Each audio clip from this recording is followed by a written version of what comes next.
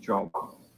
Now, next week, the British Pharmacological Society is devoting uh, a whole day to Colin. So I, I'm not going to, to uh, reprise some of the stuff that all of you are here, except to say a few things. One was that he was, of course, the British Clinical Pharmacology. Um, uh,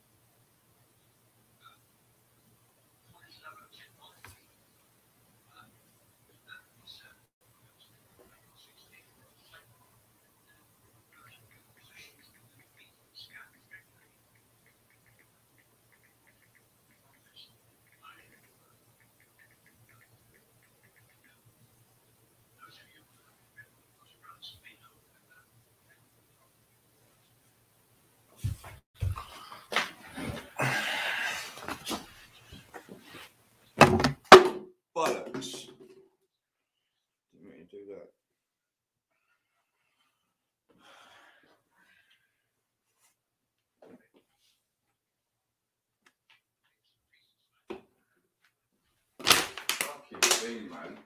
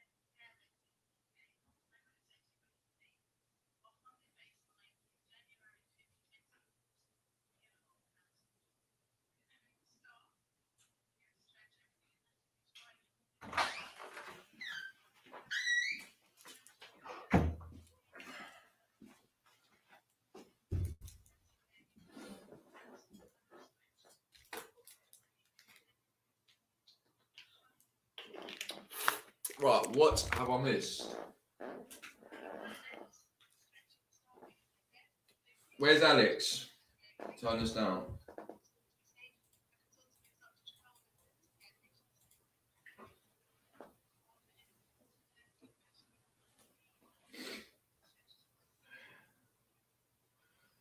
The fuck do I need to wash my hands for?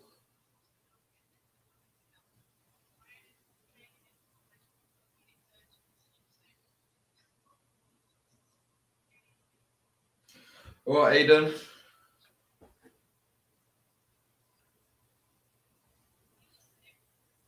Well, you can't hear this.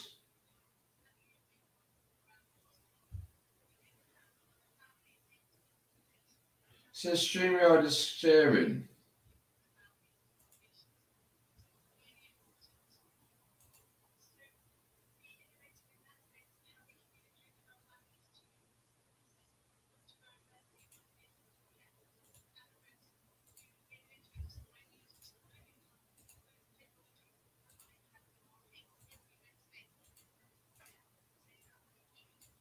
What was happening with the families of our patients.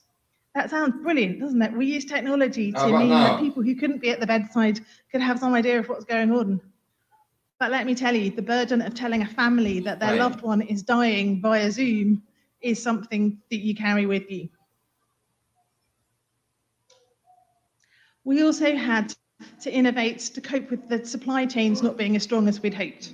Sorry about that. and these are just some examples, difficulties with acquiring the neuromuscular blockade drugs that we need to give patients general anesthesia so that we can ventilate them when they're sick. Uh, that meant that people like the Association of Anaesthetists had to generate guidelines uh, and produce advice about how to use drugs we had not used in decades.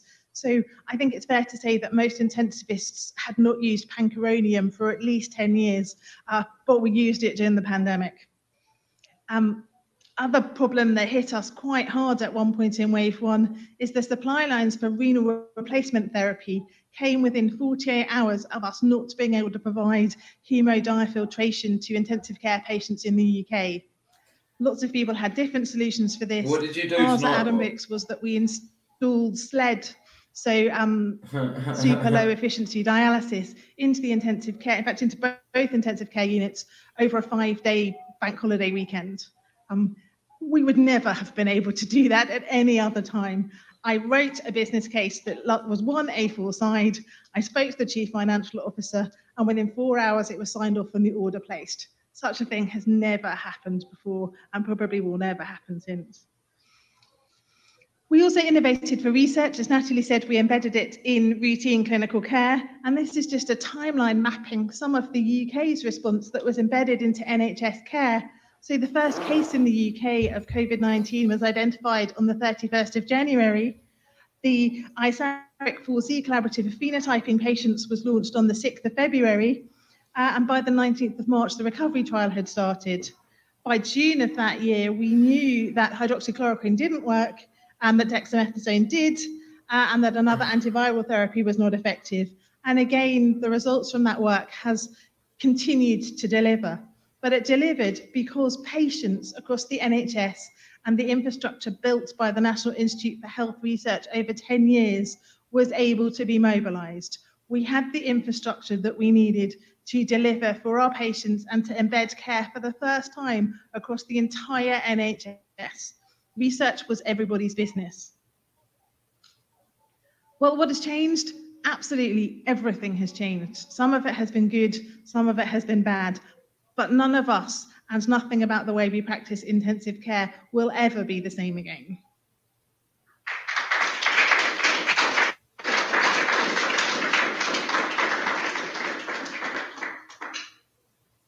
Well, if you needed some examples of the front line, what are a couple of amazing talks? We're going to talk about those later, but before we have time to discuss, let me just um, move on to two more presentations. And these are going to be on the topic of going virtual, digitalization of healthcare during the pandemic. And I'm delighted to welcome our two speakers. First of all, Dr. Dave Fisker, who's a GP, and would like to, to um, come and join us uh, here on the platform, and Mr. Jacob Haddad, who is co-founder of Accurx. We've really changed clinical practice, both here on the front line, but also in the way we deliver health services. So over, over to you. Uh, Dr. Triska, do you want to come up here? And then you pass on to another. Thank you very much. Thank you very much, everyone. Um, so my name's Dave Triska. I'm a GP partner in Surrey. I was the digital first lead for a couple of years for Surrey Heartlands, one of the most mature ICSs, and tasked to give a talk as a practicing GP about going virtual. Was a little bit like being thrown into a political bear pit at the moment, but I hope I can provide some colour to what Jacob's going to talk about, which is the how do you deliver this side of things. I thought, first of all, really, I wanted to look back on was the scene at the start of the pandemic, perhaps not in the way that you think, which is about uh, where we were in general practice. So I think we're very good at looking at the now and critiquing, but we perhaps don't always think about where we were. And at the time, we'd just gone through the winter of 2019 with headlines in the Daily Mail saying there was an eight week wait to see a GP. So I think it would be fair to say that all was not rosy approaching into that pandemic 'Cause working, uh, I think a very said- good analogy would be to look at what would we do in, in business, and I, bear with me. So, looking at how we practiced during that time, essentially we had what you would refer to as Right. 30 to 40 Where's he live? unscheduled client meetings during the day, which was scheduled for 10 minutes, regardless of the need of the client, with no idea of the agenda from either party. Mm, no. And I think if one was constructing primary care from the ground up, So there must that be may a not be how one would fucking like to do it. Thing. I can't. so yeah. as with all testing situations, my previous job was as a Uh, regimental medical officer for the Army for 10 years. We found that testing situations provide novel solutions and often unintended benefits. So, what did digital bring? And what do I mean by digital? Now, I would like to think of digital as returning us to core values of general Uh, on, practice, not the move away from it which it is portrayed. And I think it's very important to realize that digital and tech is a tool and how one uses it is, gives the importance of what that tool is. You can use a great tool badly and a bad tool efficiently. Witness all our electronic patient records and the uh, rather difficult machinations we have to do with them. So what did digital do for us and what did we deliver? Well, the, the pandemic showed that we had all of a sudden even less capacity than we did before. We no longer had, safety nets, as patients weren't able to access them both through pandemic working restrictions and also through the sheer quantity of uh, consultations that were needed at that time. So digital working essentially for me was about how do we deliver at that moment continuity of care with knowledge of those patients, so longitudinal care, which is the cornerstone of primary care and indeed probably the NHS, and how do we do that in a way that's safe and efficient for everyone? And, and, and Jacob's company was a huge part of this. So Accurx, for those who aren't aware of it, uh, is a company that helps us deliver uh, essentially data communications between patients and clinicians. And in my job as a primary care physician, the most important thing that I have to know is what is wrong with the patient and what do they need from me. Now, that may seem as if that's a very obvious uh, question to ask, but I can assure you that if someone who's waited for three weeks to see a GP has to perform on the spot and give a, a perfect medical interview, regardless of the skills of that physician, they are going to struggle.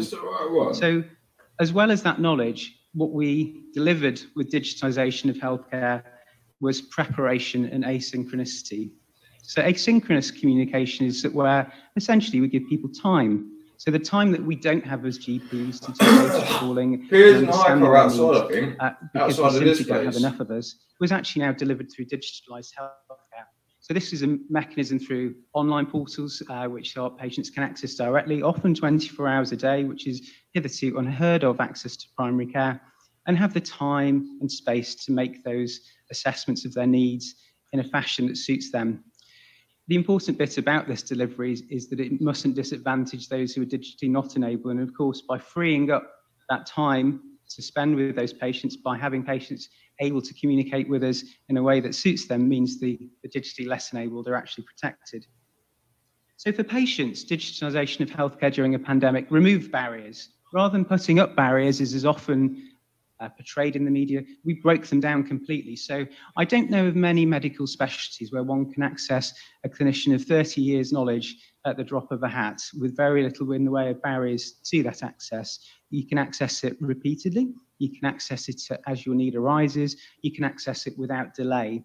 So from a, a states where patients had an eight-week wait, uh, at my own practice in, in Witley, uh, we had, went down to under 50 minutes wait to have senior clinician input to a case. This is the power of asynchronous and digitalized technologies where it's the starting point for a conversation and a consultation, not the end of it for a patient. So now technology is an augmenter, and I really want to talk to you about what did that look like in practice for what admittedly is a humble primary care centre in a small village just outside of Guildford. Did you say? The first thing that we got rid of was appointments. There are no appointment lengths. Appointment lengths, as I mentioned in the starting uh, address, was that a 10 minute appointment for any such problem seems completely ludicrous. How could I care for people who had palliative care needs? How could I care for people who were suicidal? It's impossible, and patients suffered as a result. And this is when I go back to what was it like pre digitalization? And patients were suffering in that system and did not have the care that they required. Now, what happens is because we have that communication from patients beforehand, we can assess their needs and actually provide them with the care that they need with the person who's appropriate for them. The clinician with the most need, the clinician with, uh, excuse me, the most knowledge, the clinician with the most experience, the right person, the right place, the right time for that patient. Imagine then having had that appointment, you leave with an instant summary of what's happened to you. We all know that for most patients, less than 30% of what occurs in a consultation is retained.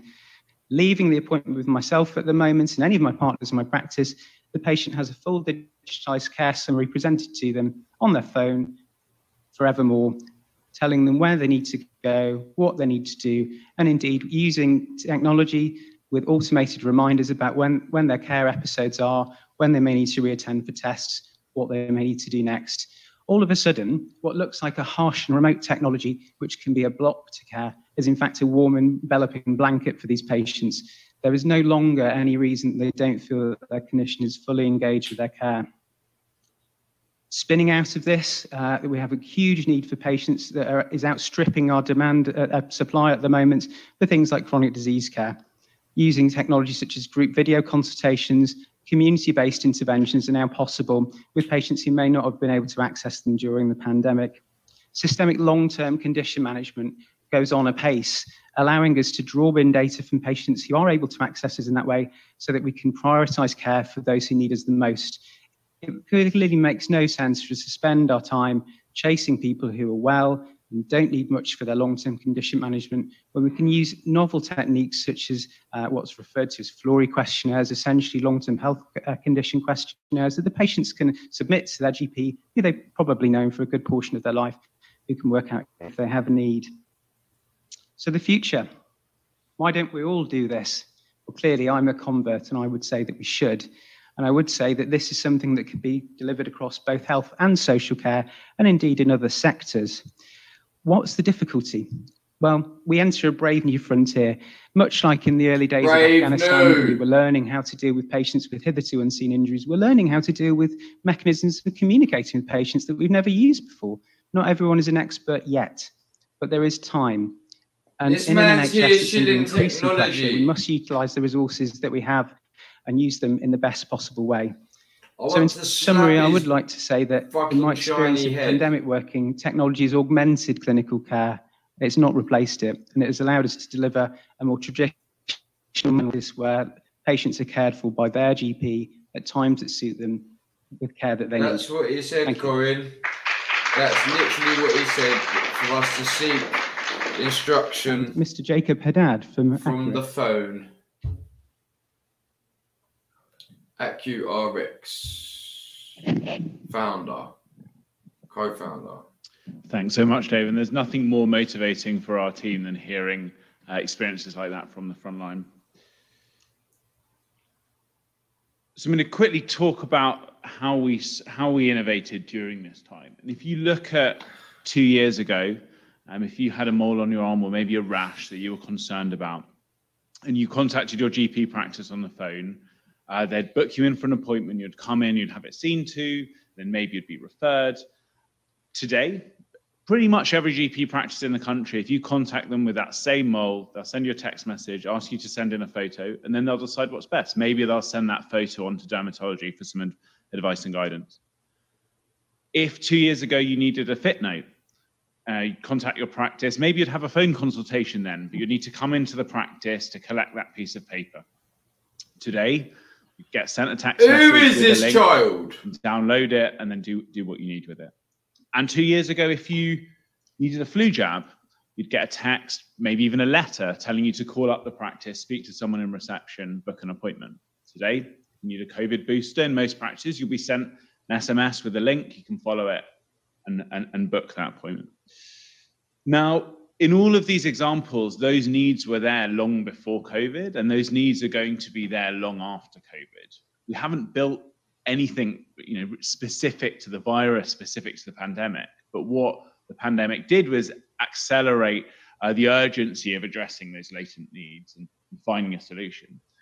And often, as a, a, company, we look at you know the speed of decision making in healthcare and, and get fr- quite frustrated and try and understand it. And when we do, it's we What see a lot of decisions being made to minimize risk, not to maximize opportunity. You know, where can things go wrong rather than how can we improve care for these patients? And what happened during COVID is not taking those opportunities became a risk because that patient who couldn't come and get their sick note couldn't get their benefits payment, or or because that patient with a mole they were concerned about couldn't get couldn't get it seen by dermatology, or maybe they'd come into the practice but put themselves and others at risk of infection. Video consultations is something that got an awful lot of attention all Can the hear way him from the in the Secretary of? Health. You know, That to that, that megaphone's And interestingly, we learned they weren't actually as helpful as everyone hoped. Um, and I think Dave's description is a very good one of um, they are a tool in a toolkit. muted, you can hear and patients him are very good at the back of understanding when to use them and when not. Generally, we think of video That's as quite funny as fuck. overhyped, but actually that messaging, that asynchronous communication that Dave talked about is quite underhyped. It's quite easy. Uh, if you write, if you want to write a, an article, to legends put a they are, picture at the top They're of a doctor in a white legends, coat with a stethoscope. Uh, there's loads of stock photos of them and trying to explain it, but messaging is is sort of harder to wrap your head around how that helps. But to give you some idea of scale, Can you hear me? um, for every mute, and you video can still hear him consultation we do now, we send 100 messages to patients, not appointment reminders or batch messages, but the vitamin D trying you need to go to the pharmacy and get some. Um, you know, I've got your prescrip- your repeat prescription request, but you need to do this blood test first. Um, real clinical interactions that would have previously been appointments. And for some idea of scale, today in the NHS in England, there'll be around a million GP appointments. And around half of those, there will be a messaging interaction. Say. Where this gets really interesting is when you look at the health economics. So, pretty much every economy in the world is struggling with spiraling healthcare costs. And there are a number of different reasons, but one of the biggest is that over the past few decades, healthcare has seen neg- negative productivity growth, where other sectors have seen positive productivity growth, because it's an inherently human uh, profession where we're reliant on one to one interactions. But actually, what Dave described of moving towards asynchronous interactions allows us to start to see those, those productivity gains. And so, as a company, we look at healthcare and we see it as a communication industry. When, when we were finding our feet, we went and spent three months in GP practice just shadowing and understanding what people were doing, and quite quickly saw it was making referrals, getting second opinions, coordinating care, getting information to a patient. It was all communication. That's where the value was added. But also, when things went wrong, it was because of a breakdown in communication. So we've got this vision that everyone who's involved in a patient's care can communicate with each other. Obviously, it includes the patient and their family. Um, and that's pretty uncontroversial, but incredibly hard to do. Um, now, the big challenge coming, you know, where we are now, um, almost two years since the pandemic started, is a lot has changed. And at the same time, actually, lots of things haven't changed. So if you're getting referred as a patient, it's still quite a transactional interaction where you don't know, really know what's going on between two siloed organizations with, you know, where all the all the communication just sits in that one letter. You've got type 2 diabetes and you need those eight quite simple processes of care, your feet checked, your cholesterol, your eyes checked once a year. You've got roughly 50% likelihood of actually having all of those happen. Um, and so all these these challenges if you you know you're an ed doctor and a patient comes in and their renal function's low you're trying to work out if it's acute or chronic you still need to get on the phone try and get hold of that gp practice maybe wait in a queue maybe you know you get sent their record by fax so there's still a huge huge way to go so how do we use digital and technology to address some of the current challenges and when i say current challenges you know, everyone knows about the six million patients on a waiting list. There's many more patients who aren't making onto waiting lists because they can't be referred at the moment. The 90,000 staff vacancies in the system, the challenges getting access to, you know, general practices, uh, GP practices that aren't haven't yet moved uh, to such efficient ways of working.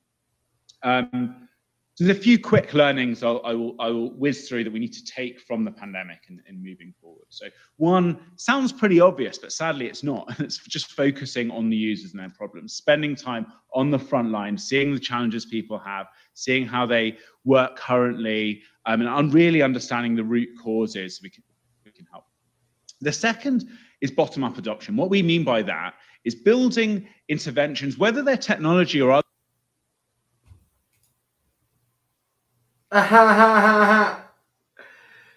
ah, what do you mean? Chat.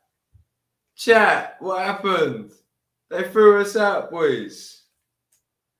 Why have we been fucking thrown out? The fuck?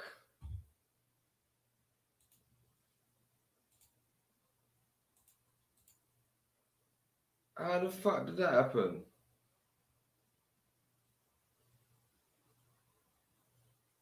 What the fuck?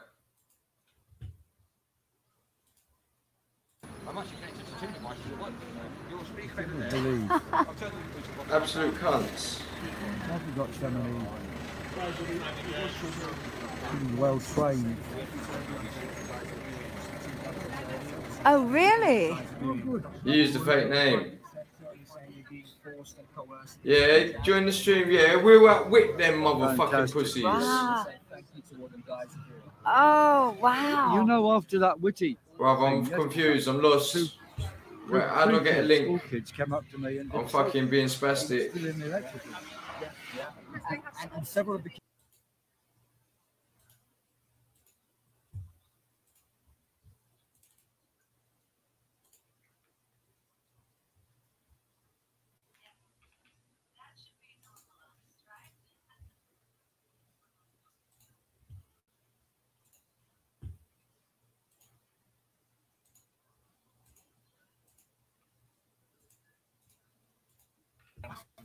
Oh, no, they, are. but we are not. We are not going to get the old world back. And actually, so it's great what we're doing. And even afterwards, the stewards who were hosting the Not that uh, thing. ULEZ event, they were actually giving us a lot of support afterwards as well and saying, Yeah, yeah, yeah. Because the aggro. No. yeah, I'm busy. Got In fact, just when we were Yo. upstairs, one of them,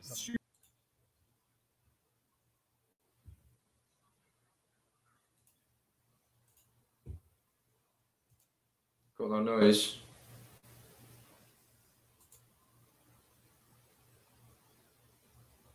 Got no noise out.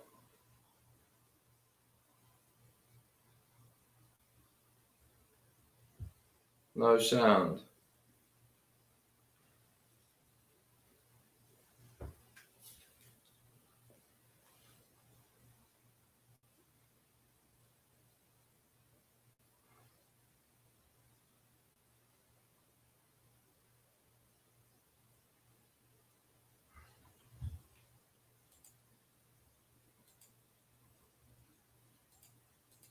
What do you mean, how? How am I supposed to do that? You're supposed to do that, you fucking nutter.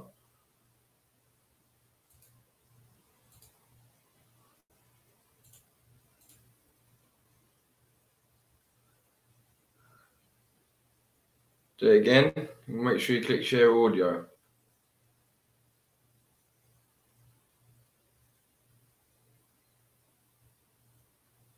Why have we been kicked out though? What sort of? We ain't even asked a fucking question. Like, wh- what the fuck? It's all right for them to record it, but it's not all right for me to stream it. okay. Can we get a share up then? What's going on, Alex?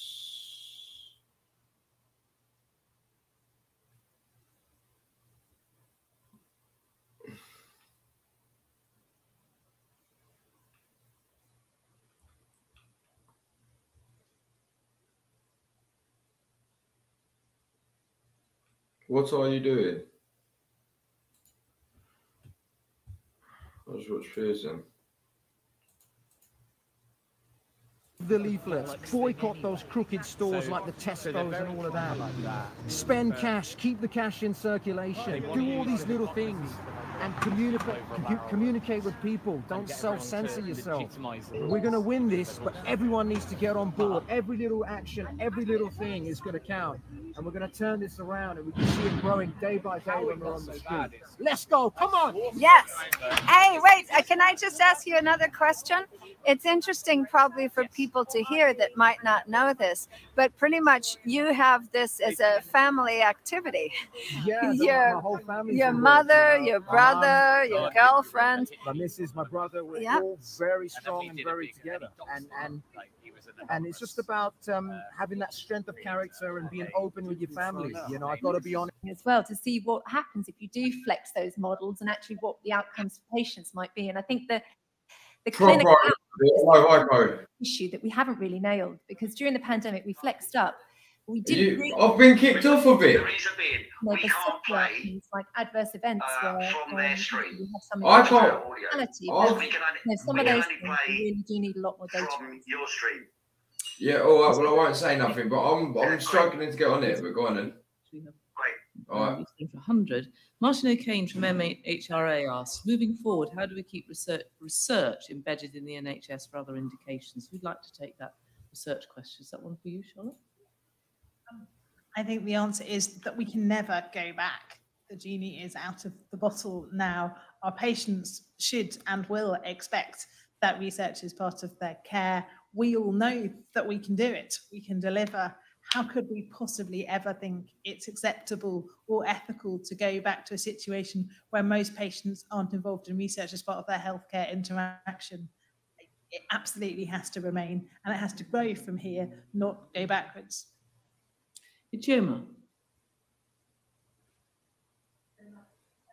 The innovation is clear and, and, and we've moved now to a situation where a lot of the human interaction is going to take place via technology.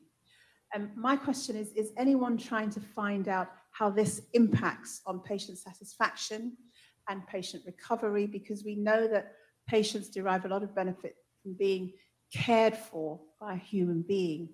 So I wonder whether we can think about that balance. Who'd like to take that? If I could start. Um, so I, I think the, the ultimate endpoint of this is that there should there always needs to be an element of it, human face-to-face interaction of some kind. I think the, the future for the NHS lies in leveraging that moment of interaction as being as useful for both patients as clinician as it can be. Many of these, and again, going back to what hasn't worked well, many of these episodes in secondary and primary care have been wasted interactions where there's been things that should have done that haven't happened and need to happen later. So um, in terms of data gathering, so there's an enormous data set in primary care for this because we've delivered probably the most of the virtual interactions and patient satisfaction scores in practices are actually extremely good and, and in the, those that use virtual and they're largely more in keeping with what the care model and their delivery is like. So basically, are they cared for well or not? Not so much how they're cared for. So a colleague of mine, Professor Ruth Ro- um, Louise Rose, and I have been doing a study on virtual visiting in the ICU. And again, we did explore, you know, what patients' perceptions and family perceptions were of that. And I'd say generally it was positive, but it was a bit of a mixed bag. Some people did not like it because you can't capture the nuances in terms of those human interactions, as you say. So. So there are several questions. I, can I just take these a couple here on inequalities, and I'll come to you.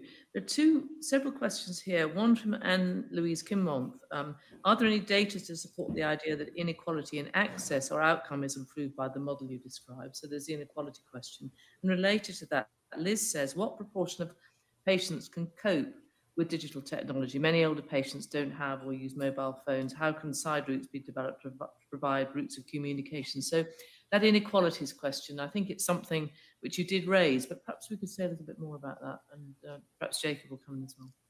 The danger of digital access, if you don't build a model that caters for the non-digital enabled, is it's by its nature unequal. If you prioritise digital access over traditional models of access, you are doing a disservice to people who are vulnerable. The, the key to the model delivery is ensuring that regardless of point of entry into the care system, the outcome and care delivery is the same. So using my own practice as an example, whether or not people contact us by coming in the building, phoning us, using our online portal, the access we have to computers is the same, and we map all of those interactions with the same system that we use.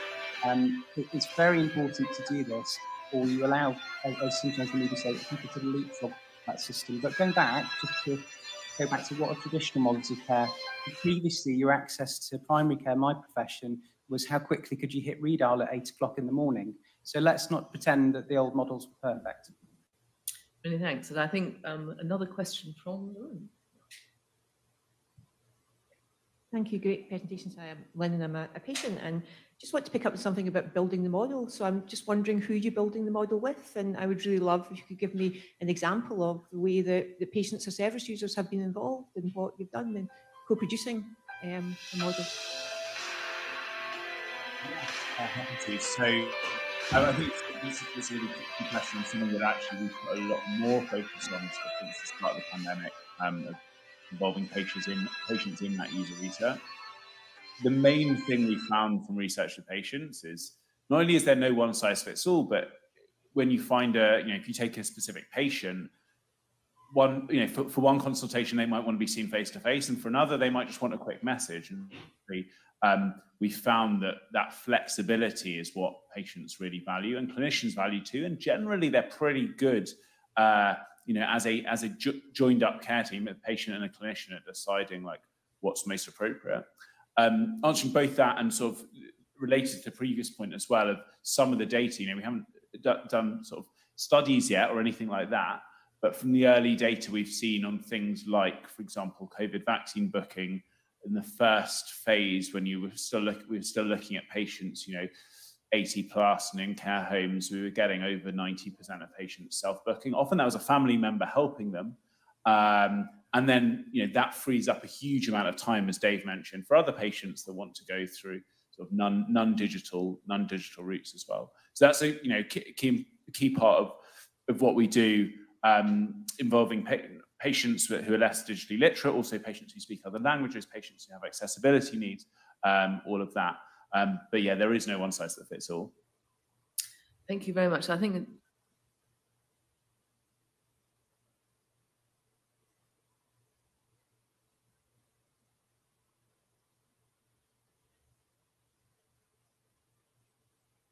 Did you want to come in there? You have your hand up. Yeah, very. And uh, take out the need for a doctor at all. So, Dave and I were talking about this earlier, and I think we both share the, the, the same view, which is that, um, I, I, mean, I, I, I don't think it's, I don't, personally don't think it's possible. You know, who, who, knows what's possible with tech in, you know, decades time, but I don't think it's what we want. You know, so much of care delivery is understanding those nuances, build, building those relationships, things like that. Where I think it is really valuable is in, in moving to an asynchronous world um, streamlining things like taking a history or things like, okay, this patient's got back pain, right? Here are the you know, here are the 12 questions to ask, but actually keeping the clinician in the driving seat. So to take an analogy, you know, if you look at uh, you know, moving towards self-driving cars, which I think is going to be a lot easier than moving towards uh, you know self-diagnosing bots. Where where things are now is actually what you call like driver assistance. You know, things that help tell you if you've gone out of your lane or if you're going to hit the car in front, but actually you're still driving the car. And I think that's that's the world we want to support, where clinicians are still, you know, very much in control. Ultimately, like I've tried all these, you know, AI bots and things. If I go through and it tells me I don't need medical care, and I think I do, I'm still going to contact a clinician. I still, you know, even if the quality of decision is better through through that algorithm, I still want to speak to speak to a person, be it face to face over the phone through messaging. Um, and I think maybe that's a cultural shift that will happen over time, but certainly with sort of what we know today, I think clinicians are very much going to stay in the driving seat and keep that those you know that continuity of care, that individual interactions. That's like the sort of bedrock of, of general practice. Thank you very much. I mean, that gives us a lot of food for thought. We're going to have to stop this session now. I think we could have gone a long time, but we have to move on because we've got a tight timetable. Many thanks um, for that. Um, again, it, if you wanted, we'll swap round in a minute, but just to say that uh, I think it's a great time uh, that this question about human engagement of uh, uh, patients and the public is absolutely at the core and heart of I think what the academy is trying to do. Through COVID, we've had people engaged. Um, then you, I think you can speak to us on that. Um, uh, uh, with all the projects we've been, been involved with, led particularly by uh, by our communications team, and um, and we've really had strong engagement with um, the, with public and with uh, uh, patients helping us. And you, you'll be hearing from them shortly, and it's absolutely clear that this public public involvement and co-production is absolutely critical to everything we do. And actually, in our next session, our first speaker will indeed be um, uh, will be a, a, recovery trial participant. So if I can ask you to move back, we'll swap the names. Now, is it possible to just open that door as? I think that's a, um, and so while everybody's moving around, I'm going to um, um, welcome our next speakers to the come to the front. And first of all, um, we're going to talk about clinical trial innovation during COVID-19. And the first person to speak to us will be Kimberly Featherston, who's been a recovery trial participant, followed by Professor Patrick Chinnery, who's Professor of Neurology and Head of Department of Clinical, Neuro Clinical Neurosciences in Cambridge, and has actually been chairing the National Core Studies on clinical trials. So, Kimberly, if I can ask you to stop, sorry, to stand up, sit down, one of the, um, get the choreography right, over to you. Good afternoon. Um, so I've been asked to speak about the impact that being part of the recovery trial had on my experience of the pandemic and my recovery. Uh, back at the beginning of the pandemic, which I suppose for those of us not involved in healthcare was around mid-March last year, I spent some time regretting some of my life choices, having gone into education rather than nursing like my sister did. This was because I had a constant feeling that was some, must be something I could do, and I really wanted to do something to help, whether that was helping patients or helping people that were helping patients. But I didn't have any relevant experience or qualifications, so I stayed at home and saved lives like we were told to do. Being allowed back into school, as I worked in a school, obviously, um, with to work with children face to face was a relief but I considered it to be a matter of when I got COVID rather than if. It finally caught up with me just in time for October half term last year. Mm, as a natural born optimist, I spent 10 days telling myself everything was going to be fine until the oxygen saturations proved otherwise and I ended up admitted. It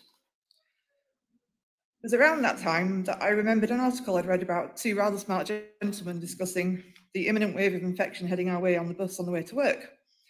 As I took my morning cup of pills, I remembered they'd quickly discovered how effective dexamethasone was and the now made it standard treatment for COVID in patients. I was immensely grateful and felt lucky to be experiencing COVID seven months into the whole thing with more treatment options available. I can't imagine how terrifying it must have been to be one of the first wave. I'd been a guest at my local hospital for a couple of days before a doctor came to my cubicle with a handful of paper and a look of trepidation. She said she'd come speak to me about a medical trial that was going on. Before she got much further than that, I eagerly agreed to be whatever kind of guinea pig she needed me to be. She clearly wasn't used to this level of enthusiasm, particularly from somebody who couldn't get to the end of a sentence without desaturating. Off she went to randomise me into one of the trial groups. Whilst I read through the information, I was most intrigued by the monoclonal antibody treatment as I'd not heard of them before. And it just so happened that that was where I ended up. I'll never be able to say definitively whether they are what turned things around for me. All I can say is I went from feeling pretty unwell and that discharge was a way off to feeling like I was on the way to doing a bit better. And it wasn't that I suddenly felt completely fine, but I felt like I'd turned a corner and was on an upwards trajectory. One thing that stood out to me through my, my, experience as a trial in a hospital was that it was all done by a small bunch of people who were clearly there purely to deal with the trial. It wasn't a case of overworked nurses, doctors, and healthcare assistants or surgeons um, trying to do it alongside looking after patients. This was what they were there for, and that enabled them to put everything into it. Finally, I felt like I'd been able to contribute in some way. And it's not that I went out of my way to get COVID to be able to do that. I went home and didn't really give much thought to where my data had gone and what it was doing. A couple of months later, I responded to a call out for people who'd been on trial. I'm sorry, I'm gonna have to get a drink.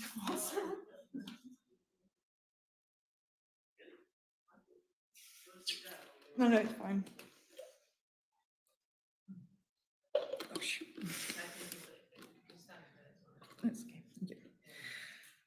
A couple of months later, I responded to a call out for people who'd been on the trial to give some feedback that might help with recruitment for the trial in the future. This put me in touch with a lady called Caroline at Oxford University, and it seems I must have made an impression on her as I've been her go-to girl for all things recovery related ever since. I had the honour of speaking on a webinar for Recovery's first birthday alongside um, Sirs Peter Horby and Martin Landray, and it was Caroline passing my information on to the Academy that has led me here today.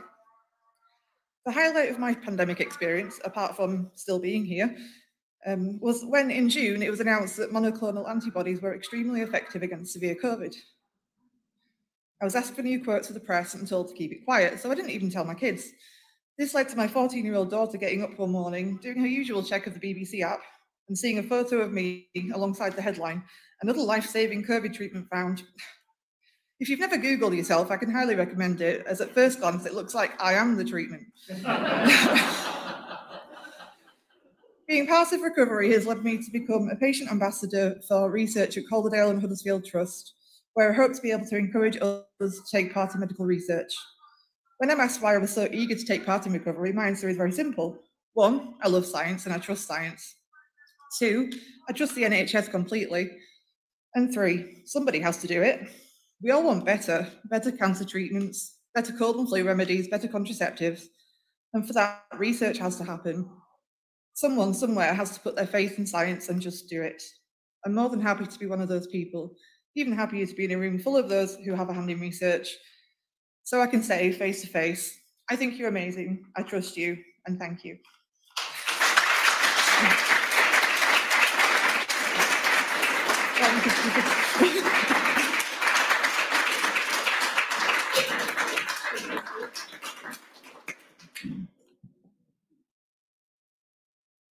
Good afternoon. Let me take you back to the BC era, where BC, of course, is before COVID 19, and then take one step further forward to January 2020, when the mainstream press was reporting the first cases of COVID 19 in the UK, and it became the focus of media attention. And this was a new disease, the mechanisms of which we did not understand. We did not understand its natural history. There were no treatments. There were no biomarkers apart from measuring viral load. And we were seeing that it was starting to have substantial morbidity, particularly in high risk groups. There was an emerging public health crisis. And our community, our clinicians, our researchers across the country responded vigorously uh, in an exceptional way, facilitated by the work of our funding agencies, the National Institute for Health Research and the Medical Research Council. And what this graph shows you is it shows you the uh, weekly COVID uh, um, incident cases mapped onto an extraordinarily rapid response from the funding agencies and, and our community to come up with creative new ideas to understand and treat this condition, and for this to be uh, peer reviewed and funded within weeks never been seen before, extraordinary, and continued uh, throughout uh, the first six months of last year.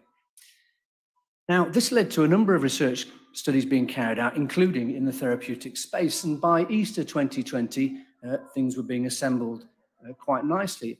On first impression, we'd seen the enthusiastic work uh, from industry in partnership with some of our academic institutions to develop a vaccine program We've heard about the recovery platform that was funded uh, in that period of time, and also existing platforms such as the REMAP CAP intensive care study, which was repurposed uh, the COVID-19 challenge. And the community study principle also led out of Oxford, which was focused prior to that time on respiratory illnesses, which turned towards the COVID direction. And we were starting to explore the idea of having long COVID studies, post hospitalization studies, prophylaxis. Now, this all happened within weeks. And as a consequence, it created a rather fragmented landscape with gaps. Uh, because this had been a grassroots up approach, uh, there was no coherent treatment portfolio. And we actually saw competition for resources, not just financial resources, but resources such as recruiting sites in clinical trials and indeed access to possible participants in, in uh, clinical studies of the nature that we've just heard about. The rate of recruitment was extremely good, given the fact that the NHS was focused on healthcare delivery, but we realized it could be better. It was patchy, both in time and in place. And we saw that some unexpected sites, particularly district general hospitals, were doing exceptionally well, whereas other sites were not recruiting as fast to these national trials. And finally, we were relying largely on drugs that we already knew about, repurposed drugs. We didn't have a development pipeline, at least in the academic context. And so it was realized that this needed some form of reconfiguration and reorganization. The Government Office for Science led the way with the funders to try and address this. And so within a matter of three months, things changed dramatically. And by December 2020, nationally funded platforms from phase one studies where new medicines were first being tried in man through phase two studies, which were testing uh, a larger portfolio of agents for evidence of efficacy of mechanism and ensuring that they were safe in participants with COVID-19 through to the big definitive phase three studies that I've already alluded to. And we also saw activity in the prophylaxis space. In other words, what preventative medicines could we give to people at high risk uh, from developing complications of COVID, and also started to think about a long COVID challenge. And so what is it that we've learned about uh, clinical trials through this activity throughout 2020? Well, we've learned two main things in my view. One is that if you're going to assemble a national platform uh, that is served in the whole country and, and being supported by the whole sector, you need to have an impartial approach to how you identify candidate drugs to feed into that uh, in order to avoid duplication and make sure you get to the best agents in the fast possible time. And, and this is why uh, uh, the uh, Chief Medical Officer for England asked us to set up the COVID-19 Therapeutic Advisory Panel. And the key point about this is it was transparent and open, and it was focused on prioritizing drugs, not rejecting them, working out which were the best ones at that time that we should be trialing. It had an open web portal on the Department of Health and Social Care website, so anybody, a layperson, academia, industry, could nominate a candidate. There were eight people, some of whom are here today, uh, who were involved in the uh, full uh, panel of experts that looked at the evidence and took advice from a number of expert subgroups focused on important disease mechanisms that we thought were going to be important to treat in COVID-19. It was all serviced by uh, a, a, highly skilled due diligence team, which was rapidly seconded from the NHS industry and our universities to carry out the detailed scanning for information in the public sector and in the private sector to advise these subgroups about efficacy and likely treatment effects. And these subgroups advised the main CTAP panel, which made recommendations to all of the trial platforms we've discussed through uh, Chris Whitty and the trial investigators. Over the year, we looked at uh, 355 submissions, of which 228 were unique, and we produced detailed briefings on over 100 of those uh, which allowed us to make 30 recommendations into trials. This was all done virtually, and the, and the seven subgroup meetings met 47 times, and the CTAP main panel met usually out of hours uh, about 16 times in that year, so that we could go through this information and continually re revise the prioritized list as slots became available in the trials when recruitment was fast. This led to seven uh, drugs being recommended for NHS care and over 50,000 participants, one of whom was on my right, were recruited into these studies. It was genuinely national effort. It was diverse in terms of its representation across all four uh, administrations, and we involved scientists across the whole country and many uh, around the world. The second key learning point was the urgent public health prioritisation process, which was put in place by the National Institute for Health Research and chaired by Nick Lemoine. This is essentially a way of working out which studies were most likely to have impact on COVID-19 and therefore should be supported by the National Clinical Research Network. Uh, you could apply and these were reviewed uh, rapidly within, within a week or so. Uh, the studies were identified as being a priority and the CRN worked with the investigators to expedite uh, recruitment into those studies and delivery with sharing of the information. And 101 studies were designated through this process. So what are the six lessons that I think we've learned from this? I think what this has shown us is that at a time of a pandemic, you need coordination and leadership to be efficient and effective and get answers that can have a benefit for the NHS and patients. You need to do this in a transparent way, which is independent and agile, responding to new data as and when it becomes uh, available. Open data sharing is key, and the reason for this is because transparency and visibility engages stakeholders and builds public confidence, and data sharing of NHS data has been pivotal to the lessons we've learned through recovery, for example.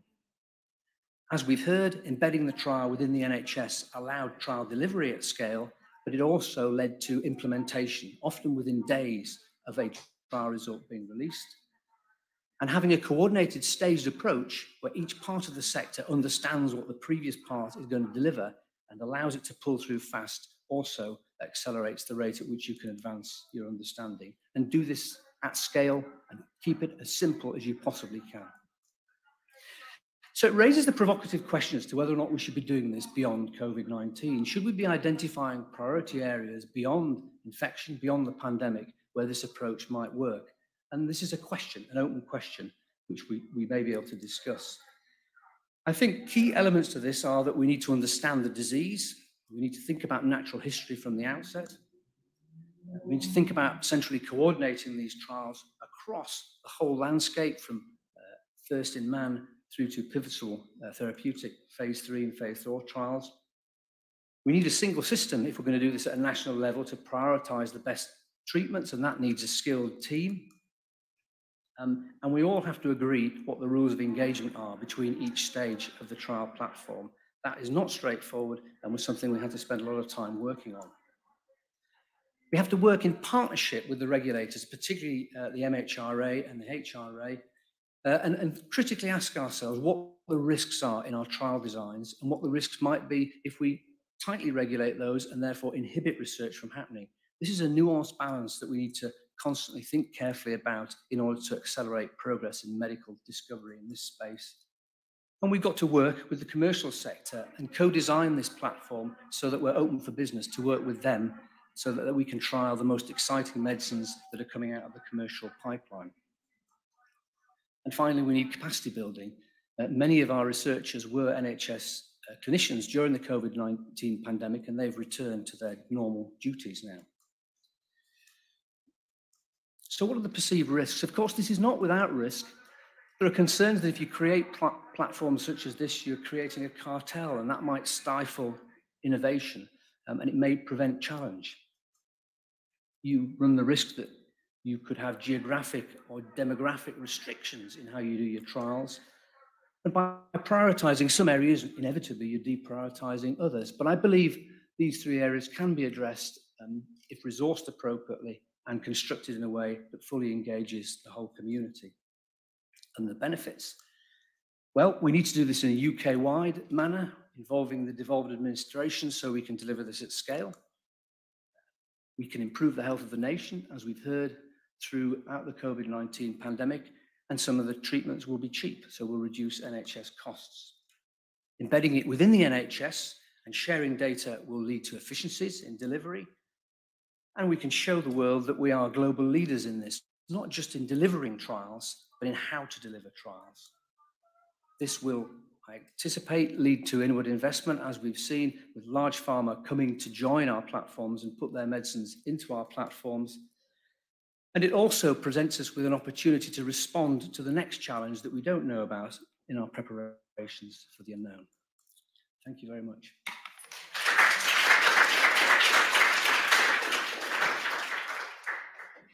Thank you very much for two wonderful talks. One who's been so involved in delivering the platforms, and one who's been such an amazing participant, because without those people, we obviously cannot make progress. So we're going to have another two brief talks and then we'll have time for further discussion. So now we're going to talk about arming the nation against COVID-19 vaccine development and rollout.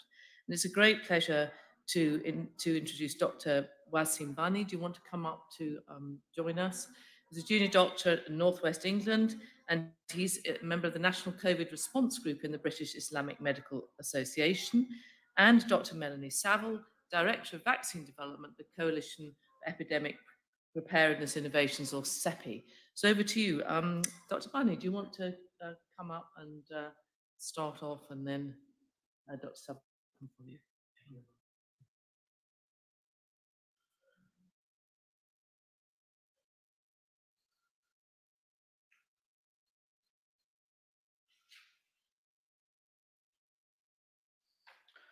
Thank you for the introduction. Um, first of all, I wanted to say hello, my name is Wasim, and I'm quite amazed, thrilled, and humbled to be here as a ju- junior doctor. And I think it's fitting to say the term standing on the shoulder of giants. Um, because whilst the pandemic may be a checkpoint in your medical careers for a lot of you, it was very much the start of my career as being a doctor. And I think the term christening by fire comes to mind. Um, and I can say that if I can achieve a fraction of what of those in this room and Sir Colin Dollery achieved, I'd con- consider myself quite content.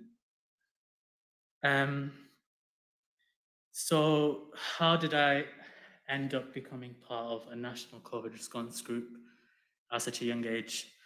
Um, well, the pandemic really was at its peak whilst I was a final year medical student. And I remember being on my community placement in general practice. Um, and a patient came in with a learning disability. And and this patient wasn't making eye contact, and they were very difficult to approach by the GP. And the GP asked him, Have you had your COVID vaccine? And it turned out she had missed her flu jab vaccine from a year, let alone the COVID vaccine. Um, and it got me thinking about that particular um, group of patients which had health needs. And I asked my GP, can I do something to try and improve this?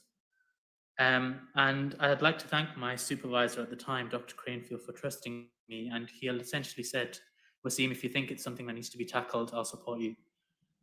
Um, and then I was shocked to see the evidence that learning disability patients, their peak life expectancy is around 50 to 59, 60.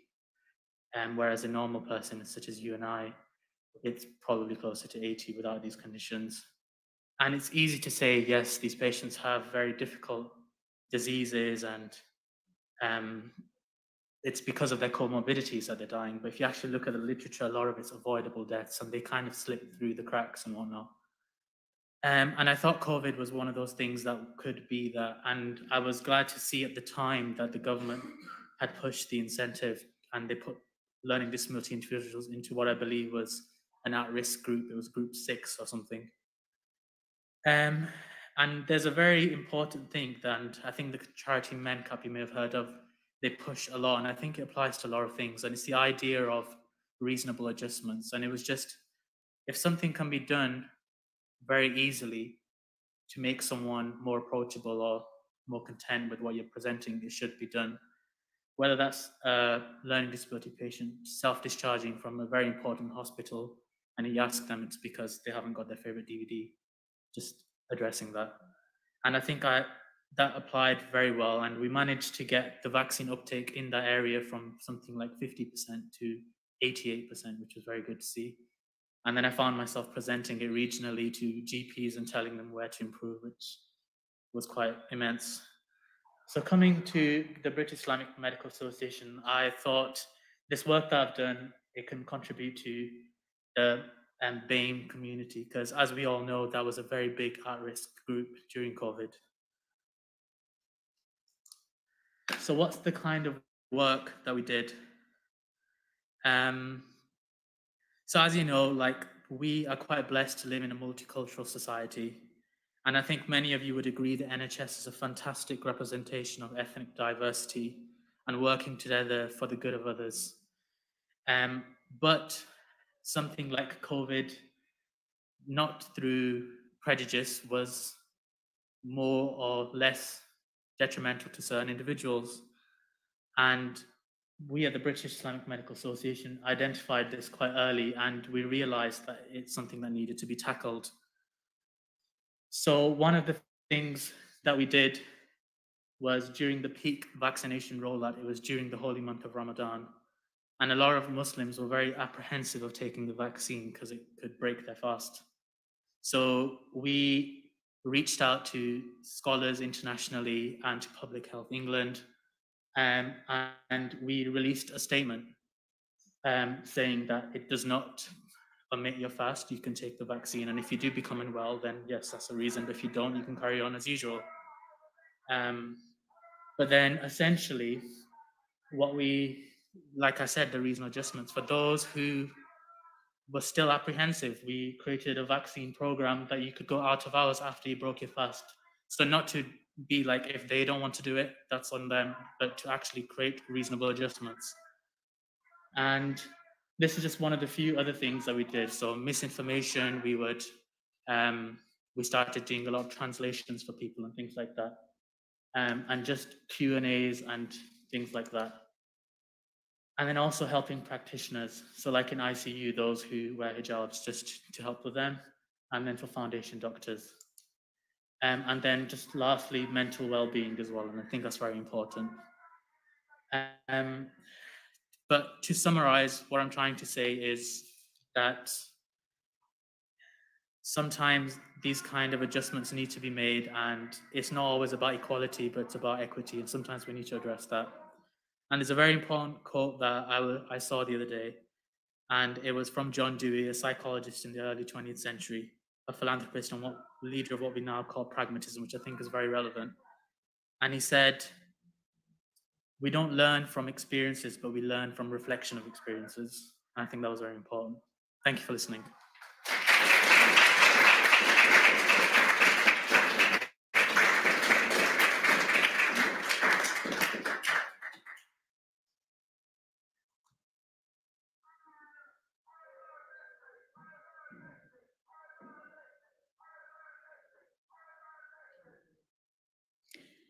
Thank you very much for inviting me um, to speak. Um, so I'm Melanie Saville. I'm Director of Vaccine Research and Development with CEPI, uh, an organization that was specifically set up from a global perspective following the Ebola outbreak in West Africa in 2014, 2016, where despite years of research in vaccine development, there was no vaccine readily available.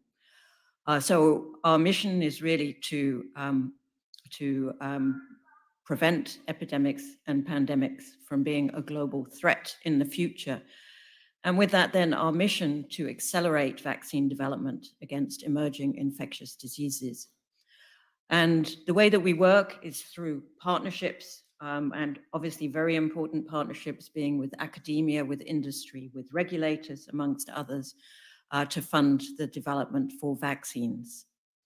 So our approach was to uh, fund and facilitate vaccine development um, for priority pathogens, MERS, another coronavirus, Lassa, Nipah, chikungunya, Rift Valley fever, and also fund development for rapid response platforms such as mRNA um, to look for potential use in future epidemics and pandemics when obviously in 2020, our disease X, our next pandemic um, hit.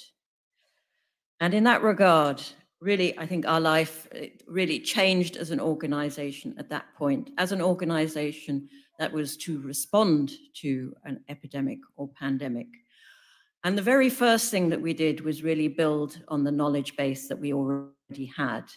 And in this case, funding development for MERS vaccines already gave us a number of learnings on coronaviruses, together with working on rapid response platforms so we were in a position by the 23rd of January 2020 that we announced our first three partnership agreements for development of COVID-19 vaccines, which included Moderna, CureVac, and University of Queensland.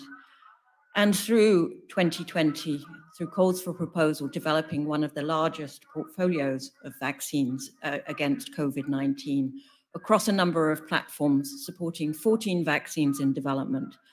Uh, obviously, um, Moderna, Oxford AstraZeneca, being now administered to hundreds of millions, if not billions, of people around the world, and other candidates such as Novavax and Clover, with efficacy data available, and we hope a licensure of those vaccines very shortly. As well as specifically looking at developing vaccines, there are a number of important enablers around vaccine development that need to be considered. Harmonization of assays for evaluating vaccines is critical, and we have a network of laboratories, including laboratories in the UK, that any developer, and there are hundreds of developers around the world, can send samples to test in immunological assays so we can compare apples with apples across the various developments. Also some investments in tracking variants and looking at the biological relevance of variants as they emerge to vaccine efficacy through looking at immunological assays and early animal work to see the potential impact on vaccines. And as we're moving forward, looking at more broadly protective vaccines against uh, COVID-19, but also coronaviruses as a virus family. We also recognize the need that um, people have moved fast to getting to emergency use authorization, but there's a lot of evidence gaps from a clinical perspective and filling those evidence gaps specifically with clinical trials. And as an example, we've been working with the UK on mix and match regimens for vaccines to look at how they can be used in the future. And last but by no means least, looking at manufacturing specifically, um, we've moved from an R&D organization to an organization funding very large scale up of manufacturing identifying bottlenecks in manufacturing that will impact supply and um, generation of a marketplace so we can bring manufacturers together with uh, the raw materials. And all of this is also built around something that is fundamental to what CEPI does, and that is equitable access to vaccines. So within our contracts, developers have to um, give us first rights to vaccines um, to be used in a global fair allocation system now um, called COVAX. And you can see here through the COVAX mechanism, we have CEPI, Gavi, WHO, uh, working with UNICEF to deliver vaccines around the world. And we've delivered over half a billion vaccines to 144 countries around the world. We're not in, the equitable space at this point. High income countries still have delivered far more vaccines than low and middle income countries. And we really still need to work on these to ensure that we get to equity around the world. Then maybe just a few reflections there. I, there's a lot there that I've presented, and this is all the work of industry, academia, the work of the regulators has been tremendous. And what has happened is something really extraordinary. Vaccine development usually takes at least a decade. And what we have seen is to the first results being available from clinical trials from the sequence only 300, just over 300 days. So the first doses were delivered when there were 68 million cases of COVID around the world. So we have a challenge. What if you could convert that 300 days to 100 days when there are only 2.3 million cases of COVID in the world? what impact would have introducing vaccines had in that circumstance? So with that in mind, just to say that we have some plans moving forward to really look at that and prepare already for the next pandemic. We know the COVID-19 is not over yet, uh, and we're also the importance of R&D still for COVID-19, looking at vaccines, second generation vaccines, vaccines that will be variant proof, perhaps vaccines that will be better at preventing transmission, as well as looking at broadly protective coronavirus vaccines that protect against known coronavirus, but we know that they are future coronavirus threats. Other important factors to consider, we built our understanding on MERS, uh, SARS, together with rapid response platforms Coronaviruses are just one of 25 or so virus families that infect humans. And there are many, many other families where the next pandemic epidemic could come from. So looking at virus families, what pose a threat, and pretty much doing what had happened before COVID-19, developing vaccines with rapid response platforms in for viruses in those families testing them already in humans, and putting those in a library so that when the next pandemic hits, we have the information available to rapidly hit the ground running and to look then at our aspiration of 100 days. This can only all be done, though, if you look at connecting the whole community, the research community, all the way through to the delivery community. And it's critically important that we are better prepared with networks, for example, preclinical, clinical networks, but also look at the equity across the globe in terms of low and middle income countries and make sure that we can support all regions of the world uh, to develop their plans so that they can also respond to these outbreaks. I'd just like to finish, though, this is a celebration of British research and development to the pandemic. And just to highlight, first of all, real thanks to the UK government for funding CEPI, as well as funding, obviously, um, a lot of work within the UK, funding for the world. And we have a number of key R&D partners in the UK, working with Oxford AstraZeneca, um, Imperial College, importantly, good relationships and good projects with NIBSC, Public Health England, um, and we have a, a, a, forum for regulatory discussions, and we have MHRA um, as a very active participant in those fora to really look at how we can deal with the bottlenecks in development through COVID-19. So thank you very much.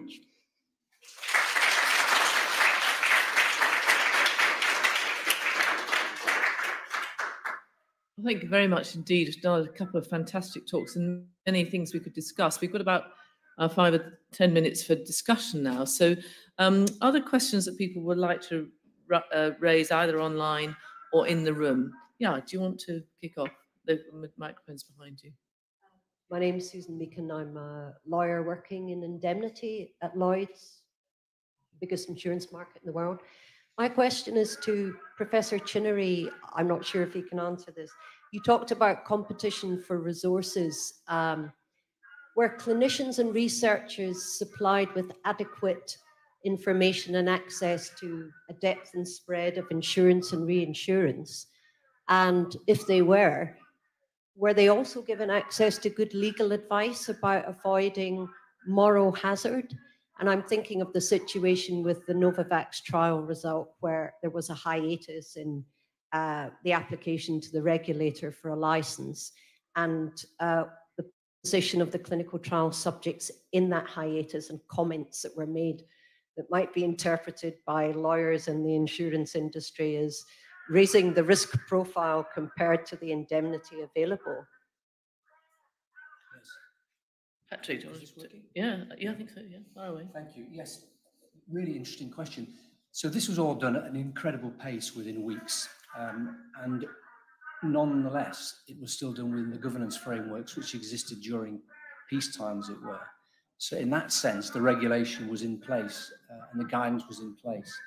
I use the word resources in a very broad sense, not just fiscal resources, uh, but the resources that are required to conduct a clinical trial, which involves human resource, it involves participants wishing to engage, uh, and interfacing that with uh, hospitals that were extremely stretched because they were delivering acute care.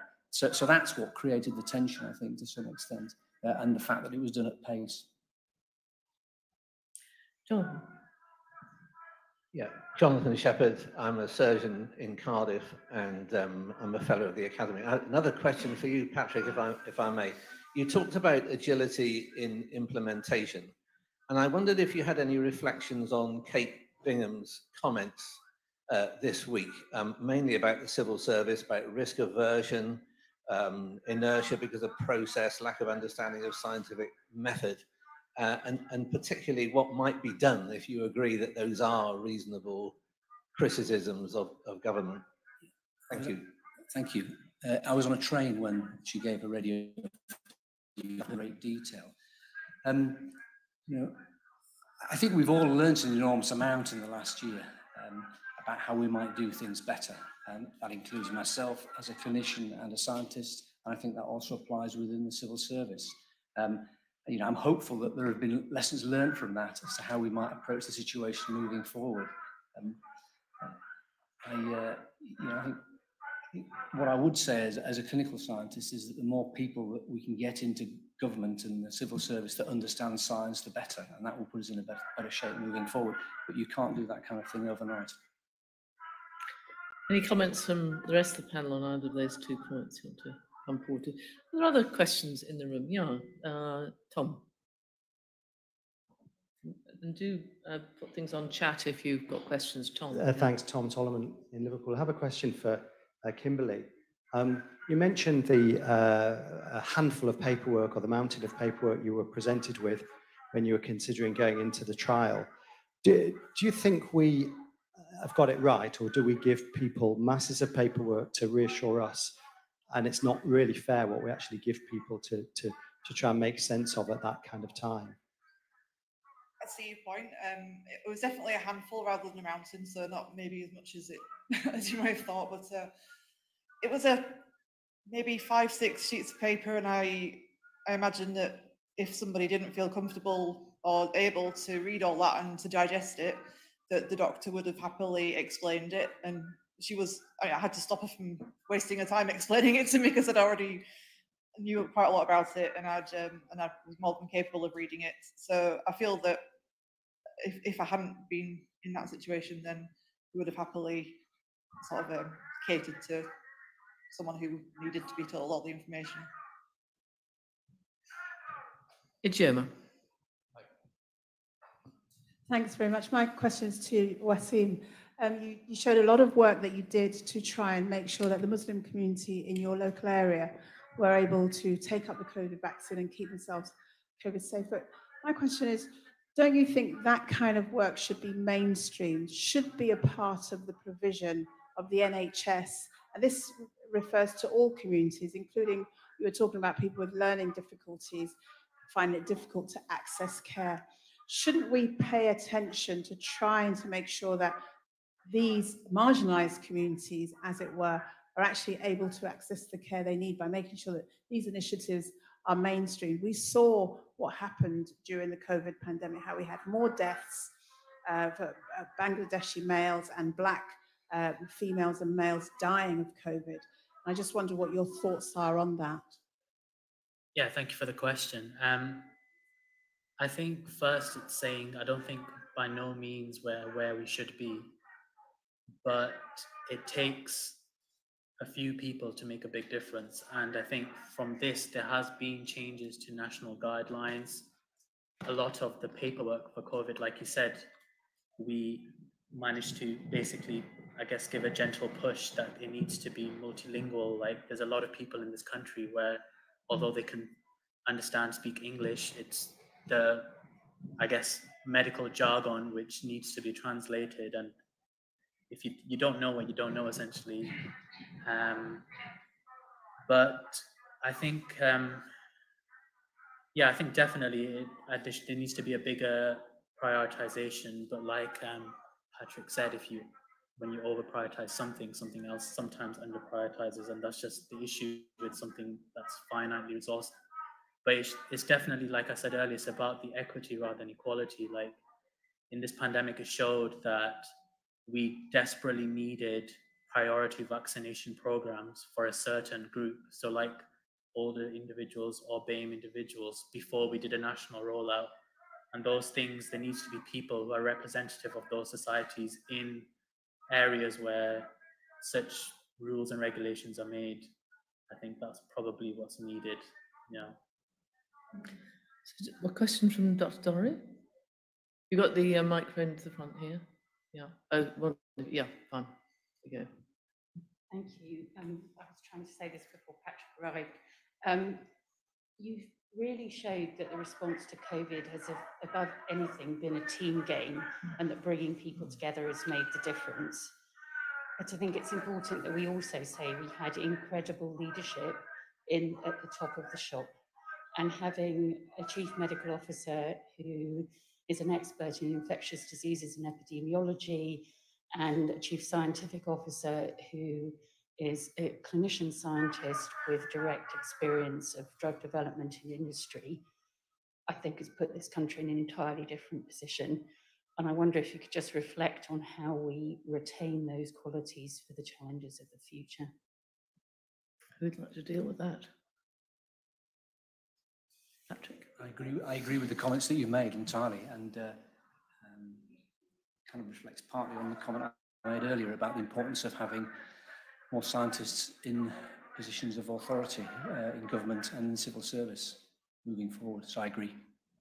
So one last very quick question, um, which is from Anna Dominichuk, who is on the line. Um, question, I'm afraid it's to Patrick again. Well, not afraid, but it is to you, Patrick. Past publishing is good, but publishing in the popular media might not. Can you discuss? Any of you might want to discuss that about um, the relationship with the media versus the science media. Yeah, I'm not, in, in what frame? I'm not entirely sure. Which Well, frame fast publishing referring is good, but publishing in the popular media might not. I think it's a question about where the results coming. Over to you. Here we are. Yeah, no, I'm, I'm, what, what we have seen often, all of us, I think, is the first thing that you see about, certainly from the vaccine perspective, results are in the media um, before you get any scientific peer review. And that can be really challenging. I think there are some very responsible companies who have, with, for example, with any um, press release, given some really good scientific data with it or made attempts to at least pre have preprints um, available so you can actually review the value of the data but it, it is really difficult to to really assess the, the, the, the quality the true value of the data when things are coming out in the media and i think the other thing that has been really challenging that i've never really seen before is safety signals first coming out in in in the media as as you know something happening in a clinical trial um, and that is really difficult to, um, to address because you often don't know the context of that. Um, but so, so it is really challenging. But I, I think the way forward is as much transparency in terms of the data that is available, making data public in um, in preprints and and organizations making as much data available as possible, um, so that so that people can be best informed and not um, misinterpret any data. Okay, well, thank you very much. I think that's a great note to stop. We're a few minutes over time, but I, I know you wanted time to discuss. We're now going to have a, a brief break and be a very brief break. Be back by uh, five to four, so it gives you about 10 minutes. And what better point to stop and to say that one of the great communicators and leaders in the pandemic is with us in the room, Patrick Vallance, who will be introducing and chairing the next session. Thanks very much to you all for participating and to our speakers. Thank you. And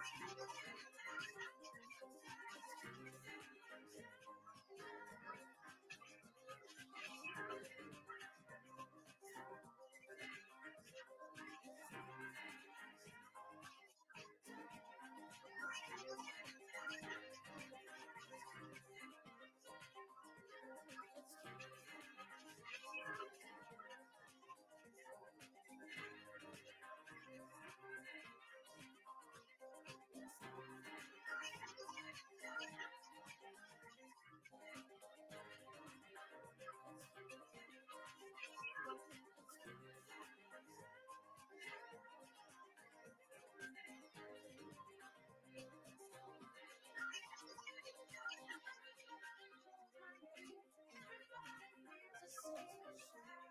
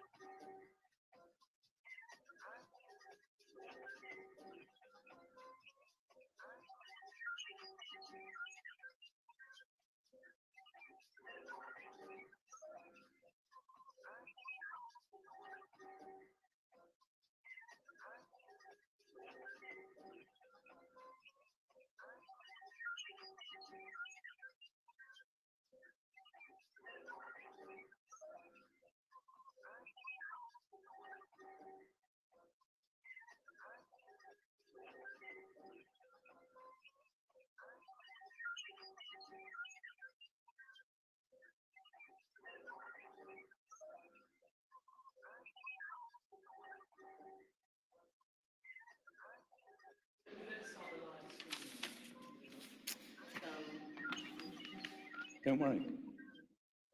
Thank you. Well, it's a great pleasure.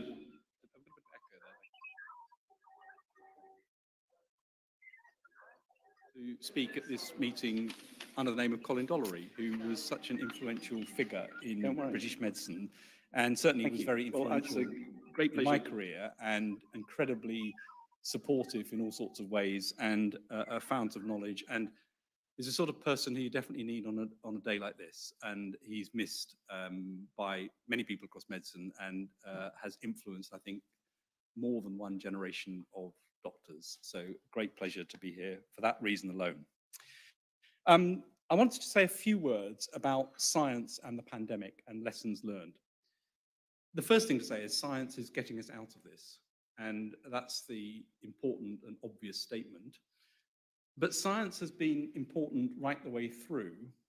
And it's been important for understanding the disease, for monitoring, tracking, and detecting, for the response to the disease, and of course, for giving policy advice.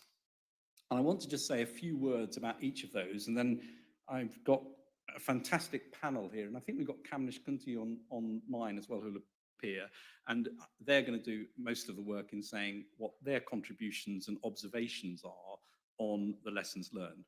But if I take, take those four headings, very early on, so in January 2020, uh, we pulled together the research funders and said, we've got to do something here to try and have a more joined up approach to thinking about research funding as this disease emerges. At that time, of course, it was in China and hadn't left China.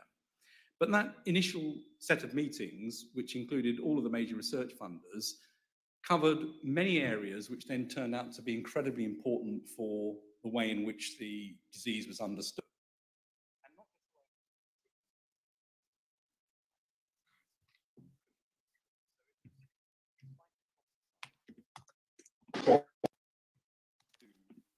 engineering to social sciences, all of that and more became important in the way this was understood. And the funding was put there quickly to try and address those problems. So I think there's some real interesting lessons. And of course, that idea that multiple sciences need to come together is exactly at the heart of this academy. And what this academy does, it's not an academy for only clinician scientists. It's an academy for all of the sciences that come together to meet the needs of medicine and medical approaches right the way across the spectrum. So understanding. The second was monitoring, tracking, and detecting. And I just want to call out a few things here, which I think were particularly important. I think the early funding and collaboration between uh, the genomics community was incredibly important. So um, you're probably aware that at um, one point, over 50% of all the viral genomes in the world have been sequenced in the UK. And that's because academics came together, institutes like the Sanger Centre and others, to make sure that we had a really good sequencing capability. And of course, that sequencing capability has been very important to pick up the inevitable variants that emerge and will be incredibly important going forward. The second uh, one I'd pick up in terms of the monitoring detecting would be the Office for National Statistics survey, which is week on week, and the REACT study actually from Imperial, week on week, taken samples to try to understand what is actually happening. Now, until that was in place, it was very difficult to get a handle on how many cases there were, which age groups they were infecting, which uh, direction the, the, the uh, pandemic was going in. But the Office for National Statistics set up a good unbiased sampling strategy right the way across the UK. It remains absolutely crucial for understanding what goes on, and indeed is something that many other countries look to to try and understand the course of the pandemic. And so great kudos to that organization for doing that.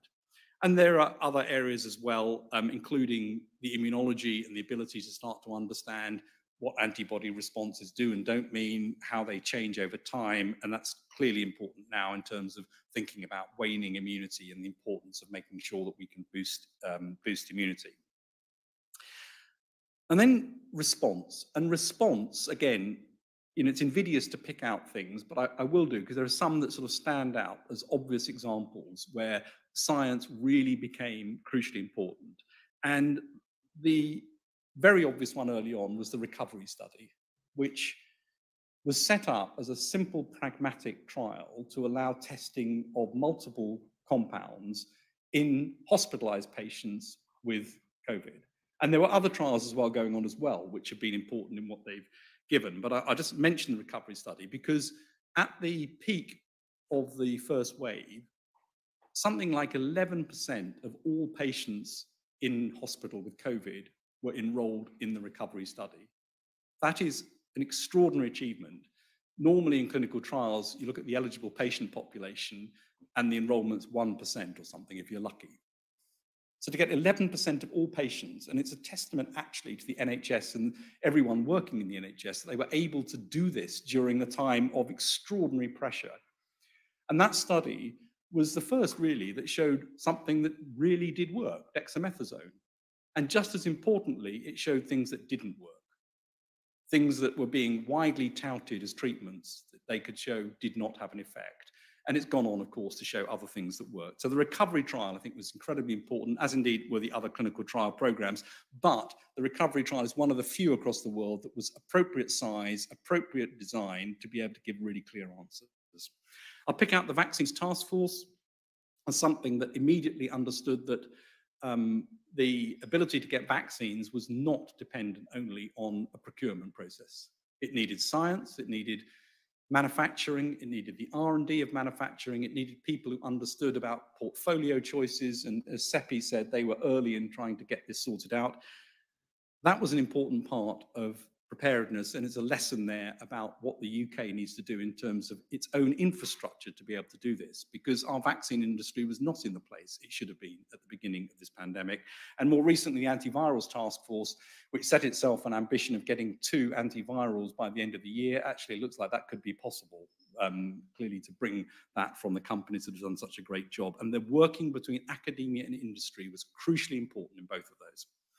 And then the final thing in recovery, in, in um, response, which I'll just mention, is the national core studies, which I know Patrick Chinnery talked about earlier, earlier on, and he was absolutely instrumental in these, to bring together the things that we really needed to get science applied to the big questions that government, society, and everybody had at that time. And so the ability to bring people together was extraordinary during this time. And I think there are lessons there about how research could be organized at other times when there are questions that we need to tackle together. And the obvious one that faces us all is obviously the climate challenge. And so I think there are lessons there about organization. Um, the the um, third, fourth area then is, is thinking about um, science for policy. And there, there have been lots of mechanisms across government. The one that um, became a sort of uh, unifying place for lots of this, but certainly not all of the science advice, was SAGE, which was a way to bring multidisciplinary teams around the table to try to give advice on specific areas of um, policy uh, that were needed. So the job of SAGE is not to make the policy, not to try and direct the policy, but try to give the scientific basis so that policy can be informed by science. And again, what was crucial was the range of disciplines. And science does spread across all sorts of disciplines, and it's crucially important to have social sciences, humanities involved in this, and we can see that right the way across what SAGE had to do. So my three points that I want to stop with and then hand over to the panel are, if I think about what the lessons were that were crucial, as well as the things I've mentioned, international collaboration has been absolutely essential and remains essential. And information exchange internationally is crucial. Secondly, and I've mentioned interdisciplinarity, you don't solve problems by going to one discipline. You need multiple disciplines working together. And the third, and I want to um, you know, thank this academy for this, the way in which the learning societies and academies came together to try and give really good, independent, robust, high-level scientific advice was fantastic. And this academy produced two crucial reports, one on the first winter, one on the, this winter, on what might happen that have been hugely influential across government. The Royal Academy of Engineering produced reports, including on um, safe buildings, and the British Academy produced reports on what society needed to think about post-COVID, and the Royal Society produced reports during the whole thing and lots of advice. So the academies really came into their own and were crucial. So I will stop there and say those are some of the things that I took and thinking about what we might do to pick up on some of those lessons going forward during post-pandemic time. Now, I'll go to the panel and ask everybody to briefly say a little bit about themselves and try and keep that brief, and then we'll go to uh, three to four minutes from each one to give their observations. So, Lynn, do you want to? Thank you. Hi, thank you. My name is Lynn Laidlaw, and I live with a rare autoimmune rheumatic disease and multiple long-term conditions, and was deemed extremely clinically vulnerable and was required to shield throughout the pandemic.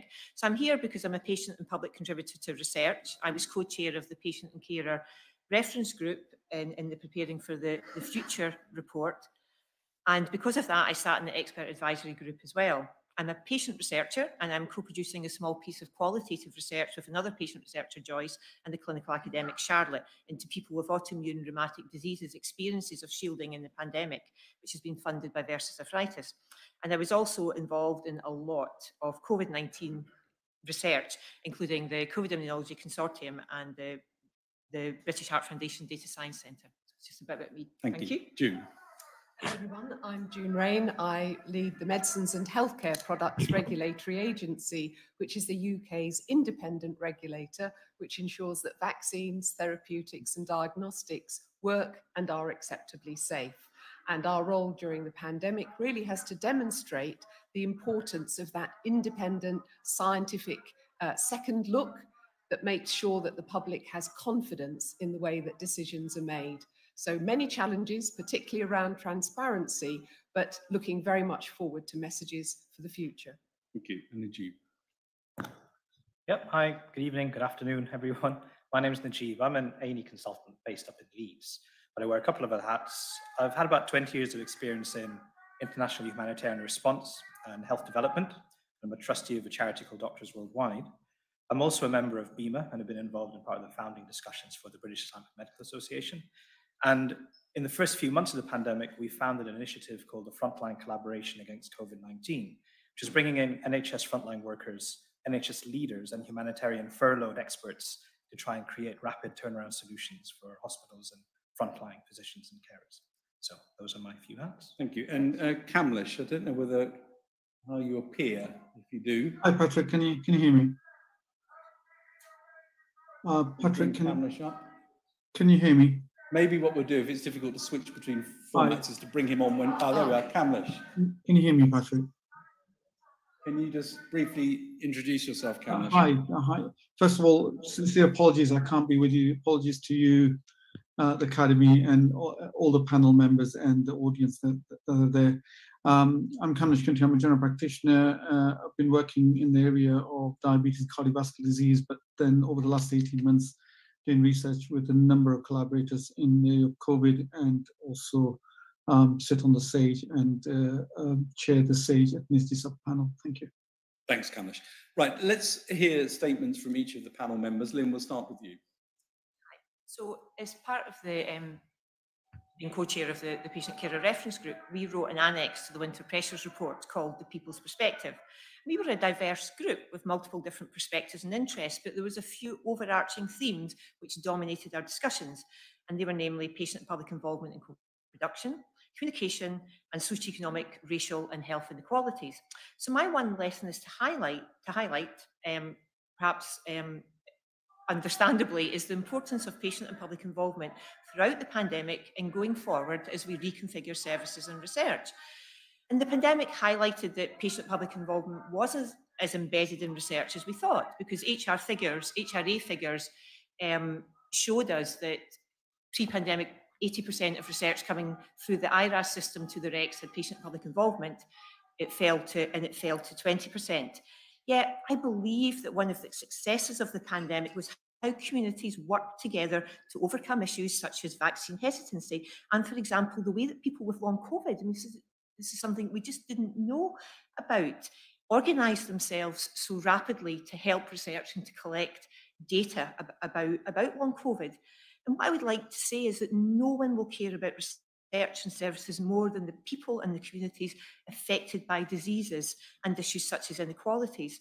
We live with the conditions and are affected by these issues, and it gives us unique insight into what matters what outcomes are important, and what good looks like in the context of our lives. If we didn't think that involving us would be beneficial, then we wouldn't waste researchers and clinicians' time. So I, and I don't think that anyone at the Academy of Medical Sciences would say that the patient and carer reference group detracted from the winter pressures report. And I really want to pay tribute to them for making the space for these challenging conversations, for forging relationships, and for enabling this collaboration. And I want to finish with a plea from the people's perspective. Work with us, work for all of us. Thank you. Thank you, Lynn. And, and uh, you know, I echo, you know, what you said about the Academy report and how important this was to have this patient involvement. So thank you. June. Our major learning from the pandemic was to become an enabling regulator, no longer a policeman or a watchdog, but a facilitator of access. And it has been a very profound change, and I welcome the chance to speak briefly about it. We had been talking about innovative trial designs and introducing more innovative approaches to our work for a long time, but this was the catalyst and the call to arms. And therefore, studies like recovery, the platform trials, now was the time to get them up and running. And our clinical trials unit worked super fast uh, cut our trial approval time down to about a third of what it had been. But the important aspect was the introduction of innovation and the taking of those risks. My key message, and as an independent regulator, perhaps it will surprise you, is the need for partnerships. Partnership working was key with NICE, with the NHS, and not just nationally, with international bodies too, such as the International Coalition of Medicines Regulatory Authorities. And through these partnerships, we ensured that the outputs of studies like recovery, recovery hit the ground, were introduced into patient care as soon as they were available. So partnerships that preserve independence of roles and responsibility is key to hitting that 100-day target for the future. Thank you. Thank you, June. I think we go to Kamlesh now, and then we come to you, June. Kamlesh. Thanks, Patrick. I mean, we've learned a lot uh, during the pandemic. Uh, we've learned the patient groups who have been disproportionately affected, uh, particularly the deprived, uh, that the minority groups, um, male participants, and people with comorbidities.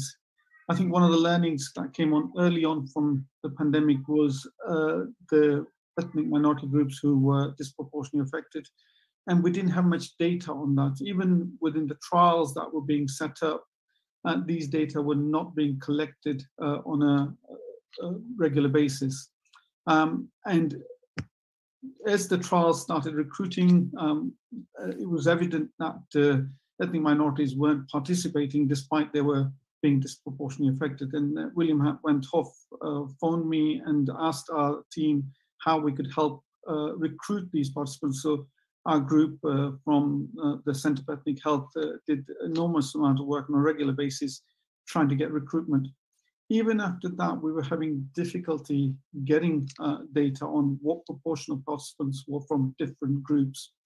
And I think my plea would be that we do need to recruit a representative uh, portion of patients from all areas but we also need to report by different uh, groups. So we normally report our results by age and sex, but I think reporting by ethnicity, uh, not just collecting data on ethnicity, but reporting by ethnicity, reporting by uh, such areas as deprivation, I think should become standard. Thank you very much. Thank you, Kamlesh. Najib.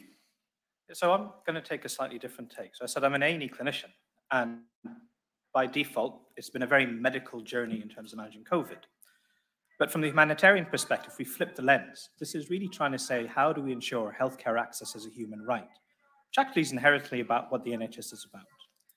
But there's loads of transferable lessons from the humanitarian sector, namely around really powerful coordination that involves multiple stakeholders and community representation, looking at minimum standards of response, what's acceptable across key panels of delivery, whether it be health or shelter, etc. And then how do we actually engage with communities? And it's that last bit that I want to kind of focus on a little bit. Um, we ended up, as part of BIMA and as part of those kind of skill sets, recognizing quite early on that minoritized groups didn't really have access to what was happening in the scientific and medical field. And how did that information get translated across? through BIMA, we conducted a survey called the Co Community Opinions on Vaccine Issues and Decisions, COVID. And it was a knowledge attitude practice survey. So we did this in Leeds through three mosques. We did it in Nottingham involving the Nottingham Council of Mosques. We had probably about 700 respondents altogether of people's perspectives on COVID and the vaccine. Using that information, we were able to kind of design webinars, myth busting kind of posters, really being accessible, coaching the imams and other community leaders on what, what were the issues and realities that were being faced and the challenges and perceptions that people were having. So I think even moving forward, that idea of where do we collaborate, coordinate, how do we creatively develop content with community engagement at its heart, how does that really serve us for the future? And that now brings us right back to where we are now, again, in very, very busy emergency departments.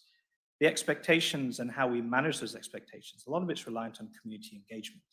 And I'm not sure we've cracked that quite yet in terms of how do we reach out and serve our, our communities to make sure we're delivering the NHS we want. Thanks. Thank you very much. So I think four really important lessons there from the involvement of patients at all stages and really making sure that the needs of patients are heard. And after all, we're all going to be patients at some point, so that this is a crucial part of the process. June and the enabling regulator, which I think MHRA has been a shining example of this throughout the pandemic, really extraordinary. Kamlesh on the need to make sure as we do studies and as we get data that we truly represent the population, not parts of the population, and that we ensure that we've got the appropriate diversity. And, and was absolutely superb on SAGE in making sure that that uh, uh, was something that was taken into account at all times. And then, as Najib said, the realities of actually getting treatments, vaccines, and other things out across the country means that you need to know how to engage. You need to know what it is that's needed in order to reach people. You can have the best technology in the world. And if you can't get it out to the people that need it, it is completely pointless. And so I think four great lessons there. And now this turns over to you all to have a chance to ask the panel questions. Yes Hidden quite early. My question is to you, June Raine, as, as chair of the regulator. A fantastic achievement, making sure that we had approvals happen really quickly. And I've got two questions. First of all, did you sacrifice other areas in order to mobilize staff towards the COVID agenda? That's the question one. And then how can we sustain that kind of momentum that you've generated within your organization? The second question is looking at the diversity issue, will you be asking questions of clinical trial, phase three trial investigators around the diversity of participants, just to make sure that we do not have what we saw with COVID, where a significant proportion of people from a particular ethnic group were actually dying quite quickly, and it had nothing to do with socioeconomic status. Thank you. Well, thank you. Great questions. First one, did we sacrifice any areas? And I have to pay tribute to our staff. We're a well resourced agency, but everybody went the extra mile. For the first time, we allocated public health priorities to the vaccines, therapeutics, diagnostics that would be important to fight the pandemic. And so we did divert resources into that area, but we relied on that 110% commitment of our people to keep everything else moving. So that was really how it was done. Your point about can you keep that going is a key one.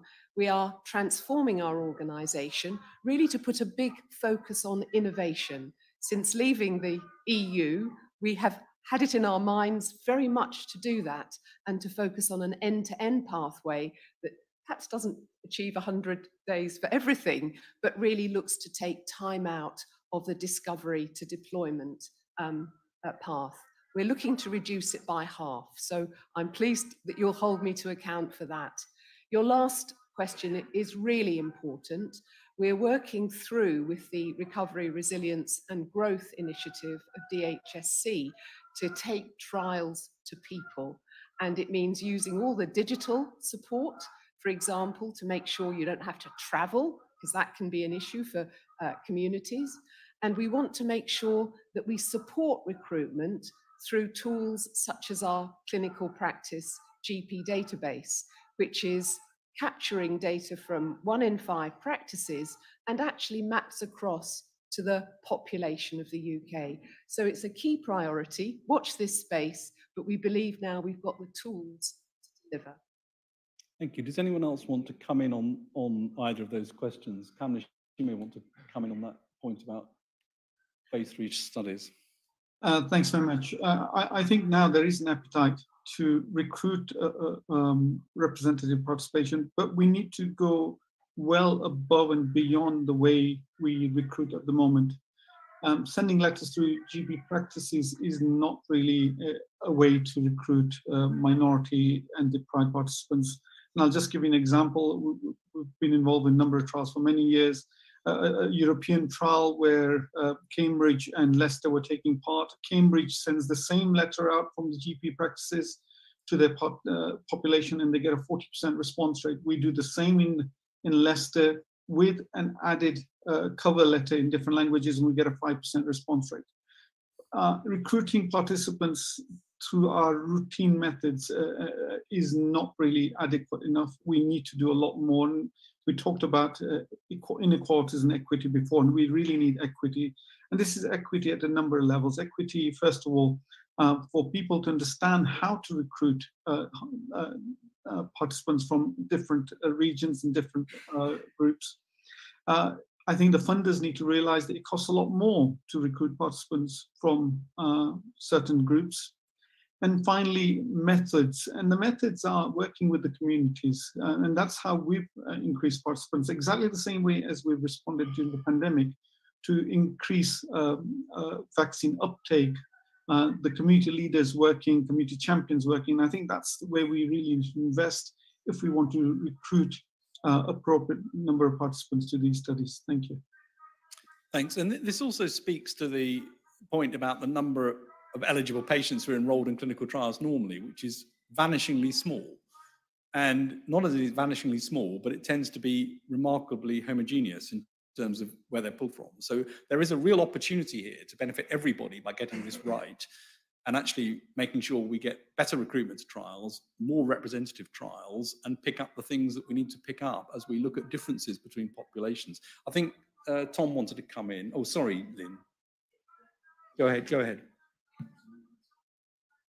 I, just want to say really quickly, I mean, I, and I'm going to say this, aren't I, but I think that patient public involvement is central to this. I mean, i've been work with the HRA and their, their Think Ethics. I'm, I'm on the expert advisory group for that. And, and a lot of people really want to participate in trials.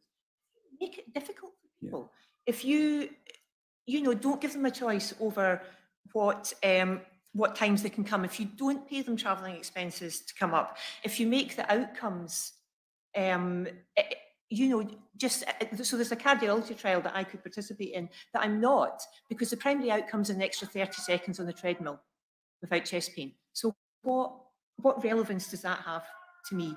And I think it's work and doing some stuff around the participant information sheets and about the availability of that of that information.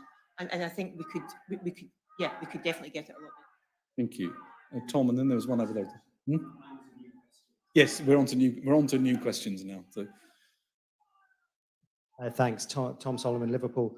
Um, we're, we're, celebrating today the UK's contribution to science, but this is a question that you might all like to comment on um, in comparison with other similar countries. So uh, June, first of all, clearly the MHRA was criticised for being fast in, in approving vaccines, and then the other countries sort of followed, I think, with their tails between their legs. But I'd be interested in your reflections on that. And then maybe from, from Lynn on the patient involvement and how we compare with other similar countries. And then maybe if, if Kamlesh or Najib want to comment on on the diversity aspects and how, again, how we compare with similar countries uh, in that respect and how, in, in our response to the pandemic. Okay, June, do you want to kick off? If I may, Tom, I'll take a slightly different approach because in the International Coalition of Medicines Regulatory Authorities that I mentioned, the FDA commissioned a study of all trials. And the UK wasn't actually very high up. There were about 1,500 trials on COVID. And then when we looked at trials with actionable results, there was the UK. And the tragedy is, if the Academy can do something about this, it would be fantastic. That many regulators are approving trials that are too small, underpowered, they will never give a result that will benefit a patient. And that's what the UK did. So if it comes to being proud of something, it's the immense, uh, the brilliance of the research community. Who was first over the line as a regulator? Well, it's, it's, it is what it is. The data were there. Uh, we were able, through the skills of our staff, to move nimbly. And the links within the government that enabled our wheels to turn. It may be different in other regulators. And I think you know this point is highly relevant to the 100-day mission. You don't get to the 100-day mission unless you do properly sized trials that give you answers. And there was an enormous waste across the world of many, many small studies that never delivered. Lynn. Yeah, so I think that I would like to play, I'd like to pay tribute to the researchers that I work with that, that understand patient public involvement. And, and I think that we, we've got a really great system in the UK, but we have got far too much variation eh, geographically between, you know, the situation with patient public involvement in Scotland compared to compared to to the rest. And, and what, what I would say, I think at the start of the pandemic, there was a bit of paternalism. It's like, we need to get these studies up and running quickly. We can't possibly ask people, you know, to comment in 24 hours. Well, you absolutely and totally can. Because I spent the whole pandemic zooming on my on my couch and answering emails and you know staying up till two o'clock in the morning to to really try and input to try and make the best research the best that it could be. And and i think i think we have done that and we've done that well in the uk but there's still too much too much variation. Najib. I think uh, from the diversity side, and uh, it's a slightly non-academic approach, but again, because of the charity work, we've got lots of partners in other countries. And the key thing that came out was trust and trust in institutions. And in certain countries which have different governance structures, they could enforce trust, uh, which made people comply. And I think in other places where there was no trust, then actually, it sounds awful, but the disinformation had more impact than authority. And so this goes back to this issue of community engagement to enhance trust and build trust in institutions to allow interventions to work. Um, and I think we've probably seen that a degree here in the UK, where certain communities and the majority community had trust in the system, but then other communities did not trust the system. And I have I had patients who told told me that go to hospital in an ambulance, come out in a coffin, I'm not going to go in. And they would keep their family members at home dying of COVID. I had a, an African neighbor of mine who has had COVID twice but still refuses to have the vaccine because of historical issues in Nigeria. So those are the, the legacy issues that I think, how do you reach out as authentic and credible and representative to build trust in institutions? And yeah, and that's part of the part of the challenge. Hope that answers a little bit. And Cameron, you may want to comment because the, the, one of the points of the question was how do we compare to others in being able to do this? Do, do you know how compared to others? Uh, I can certainly comment on that, uh, Patrick. I mean, the, the in terms of ethnic minority and how disproportionately COVID affected them, this came. I, I will remember for the, this for the rest of my life. It was the first of April. Um, I had friends who started phoning me saying, "We're seeing patients in intensive care unit, young Asians. Um, you've you've been looking into COVID. Is, have you seen anything like this? Because until then, most of the countries that had been affected by COVID were homogeneous populations, uh, Spain, China, Italy, and hadn't reported anything on ethnicity. And the first data that came out was very quickly, it was the 4th of April, and that came from ICNARC, the intensive care unit data. And, and suddenly uh, we started uh, wondering whether this was true or not. So I spoke to Nilesh Samani that day, and that's the same day that we wrote to uh, um, Chris Whitty about uh, this potential disproportionate impact. And then I think we have been reporting on um, the area of ethnicity and deprivation more than anyone. The only two countries that have reported this is USA and the UK, but we have the best data in the world. And I think we need to be really proud of that. The way the uh, um, access to the data happened quickly, the collaborations that happened, and the linkages at the pace that happened was unheard of.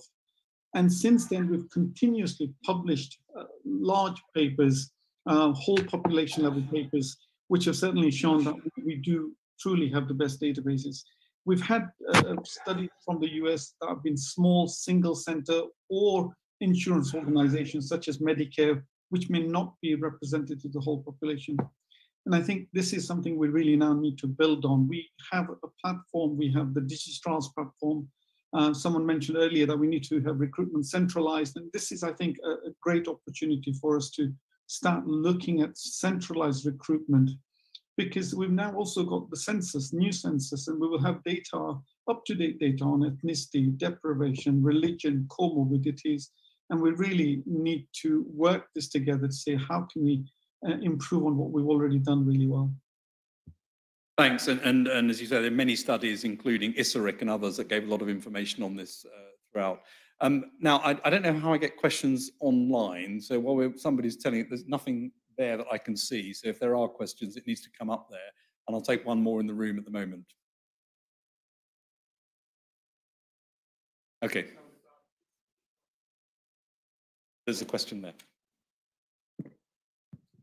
Uh, Keith Godfrey from the MRC Centre in Southampton. Um, I'd be interested in the thoughts from Patrick, yourself, if you don't mind, and June, on the legacy for the UK diagnostics uh, uh, sector. Um, the innovation between academia, industry, government, and the regulator has been fantastic during the pandemic. And how can that be best applied both for post pandemic and in preparation for future pandemics? Yeah.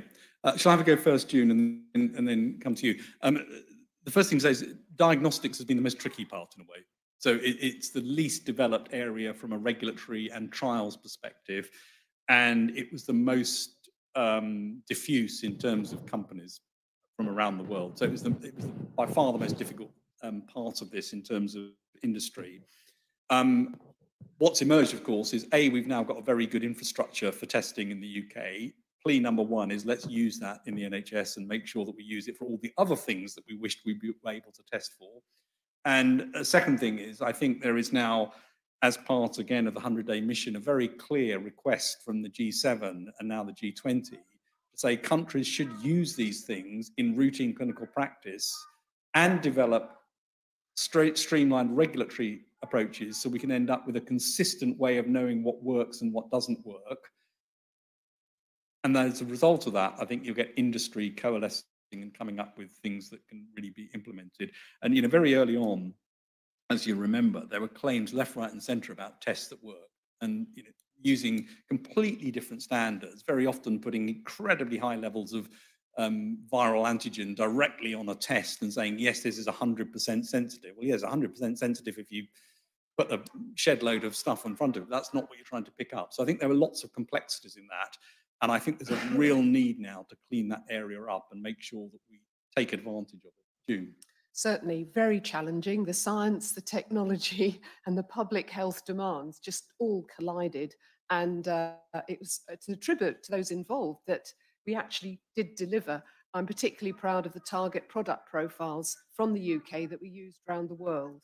And it was only when I heard from South America how they looked for these product profiles and could follow them and use them that I realized how much the UK has done to assist. But we've now got to go further. And as Patrick says, the opportunity is to work internationally to create a bespoke regulatory framework that enables and doesn't add barriers. And we're on our way working with the FDA and others. Thanks. I'm going to make sure that we crack through some other questions. So I'm going to try and make it one, one question, one person answering. So the first one's for Kamlesh from online. Should the targeted approach to vaccine access not have been widely adopted and made mainstream by the NHS for all marginalised groups to enable them to access the care they need? The, the vaccine uh, hesitancy issue is quite interesting because we, we're talking about it now, but this has been present for many, many years. If we look at the influenza vaccine data, uh, we've had hesitancy among ethnic minority groups at population level and at healthcare professional level for many, many years, and we've never addressed it. So we really should have addressed it beforehand. But now that we do have the data, there's a lot more that needs to be done going forward um, to try and uh, improve vaccine um, access to these populations. Yeah, Thank you. And I think uh, I think a lot's been learned about how to how to do this, and I think many countries around the world realised quite early on that this wasn't like giving an annual flu vaccine. You know, there are a whole different range of barriers and challenges to do this. Um, question here, which is entirely relevant given um, the, the uh, day is named after Colin Dollery, which is, should we be considering more diverse groups in clinical pharmacology studies or trials of early studies, uh, particularly as we know that some ethnic subgroups respond differently to cardiovascular drugs. There are very few clinical pharmacology units currently that do this. June. Absolutely. And uh, it's been an experience, particularly with uh, medicines like um, some of the uh, ACE inhibitors and so forth, where we discovered what the issues were through the vigilance system. And it shouldn't be like that. We should be building in safety. So I would really welcome the chance to, perhaps in Sir Colin's name, to try and stimulate Munir Pirmohamed. We've got the British Pharmacological Society next week. Why don't we bring that point up and Yeah. see if the BPS will run with it?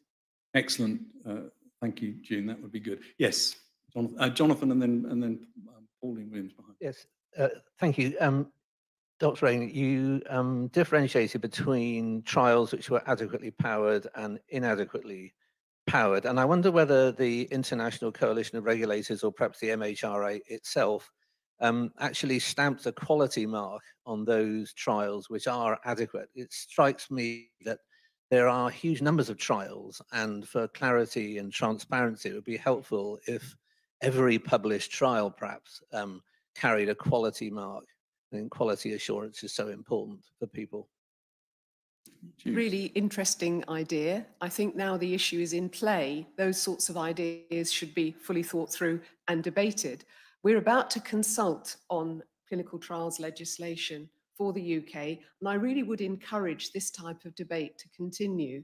Um, coming at it afresh, talking with the National Institute for Health Research, I think there would be others who would like to contribute to a debate. So it's not an immediate yes, but my goodness, post COVID, why not? And I, I, guess you'd like to think that if regulators are really doing what you'd hope regulators are doing, the approval should be a quality mark that should ensure that the study can answer the question that's being asked. Pauline.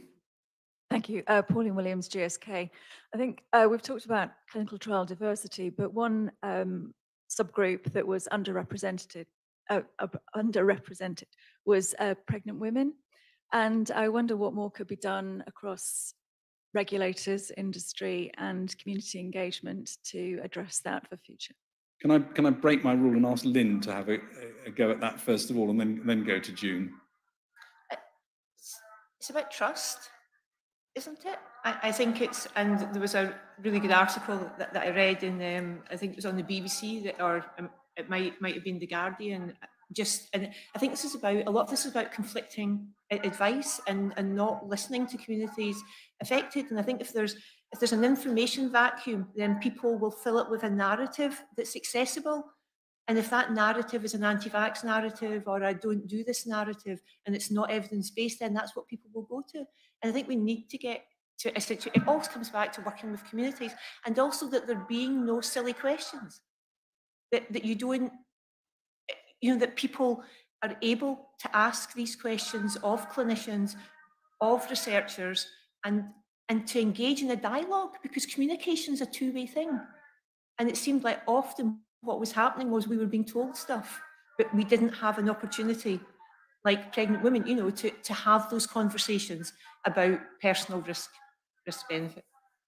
Julian. Well, Lynn is absolutely right. And I think it's incumbent on all of us now to do something about this gap in regulation. We shouldn't be seeing women in intensive care, most, the vast majority of whom have been too frightened while they're pregnant to have their jab. And I think now that gap needs to come to the fore. I'm sure Professor Lucy Chappell will have it in her mind to do something about it. Regulators certainly have, the FDA and the EMA. So let's together, led by the patients, do something about it. It's not acceptable. And I think the CMO has been very clear about this um, need for vaccination for pregnant women. Can I just add a, a very small thing to that, just about um, about civil society organizations and community organizations. Through BIMA, we've been able to help represent communities and recruit them for organ donation, for bone marrow transplants, etc., by being you know, part of those communities. So I think civil society and third sector organizations have a role in bridging that gap as well. Thank you. Questions from the room? Yes, Patrick. Thank you. It's mainly for June. Uh, I can see, June, how we can do large clinical trials at an arm's length to measure an efficacy uh, outcome. The question is, uh, what approaches can we put in place to measure the side effects, which we may not know when we're doing the trial itself? So it's going back to the pharmacovigilance question, and particularly for hard to reach groups where the problem's compounded. It's, it is a real challenge, and I think we've got to think in a bespoke way down round different uh, products in you know early use to make very clear plans about how to best reach uh, uh, people who will no doubt perhaps be reluctant to report side effects for all sorts of reasons. It's very encouraging that the actual ability to test for perhaps even a hematological abnormality at home is now becoming a reality. So let's build it in at an early stage to trial design and see if we can really improve that data capture. Thank you. We've got time for one last question from the room. Yes. Um, I just have a general question about uh, the role of the yellow card scheme with the MHRA and building on that um, earlier question about the long-term monitoring of things like side effects. Um, what role do you think clinicians have in uh, sort of promoting that and being aware of uh, using that as a tool for that? Thank you. It's a long established, if you like, cornerstone of vigilance. We come and go on its role, it is that vital hotline that anyone can tell us. And increasingly, it's been patients, particularly in COVID, who have told us, and I thank every one of them. But in the data world, the data driven world that we're in, can we not enrich that data in ways that actually speed up detection? And that's what we're here to talk about. I think that the myth that you cannot test a hypothesis in a large data set you need you can't detect a signal. You you test your hypothesis in a large data set. We should maybe revisit it with some of the clever uh, people who can segment data sources. So i think it needs to be there but in a less uh, prominent way because i think data capture will enable us to detect signals quickly in the future. And, and it is remarkable. I mean the increase in reporting from patients during this period really tells you what the opportunity is here in terms of you know crowdsourcing information lynn sorry, just uh, we've talked a lot about data. So uh, there's something that really stands out for me is this um, concept that health data are humans with the tears wiped off. And I think big big data needs deep data, and we need the stories, and we need the narratives, and we need the qualitative research to understand it, so that we can we can illuminate it.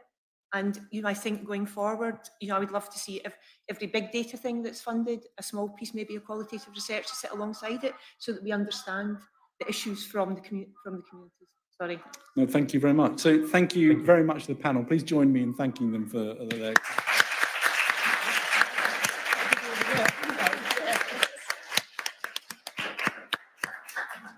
Thanks very much. So I, I just, I'm, I'm, told I've got to sort of summarize and, and reflect now. And I, I'm going to just say one thing, which is it's very clear from what we've heard that science has been totally crucial right the way through the pandemic. But it's also clear that you don't end up with good results, good outcomes, if you're not diverse. And that diversity goes across disciplines. Interdisciplinarity, interdisciplinarity is crucial. It goes across countries, learning from each other.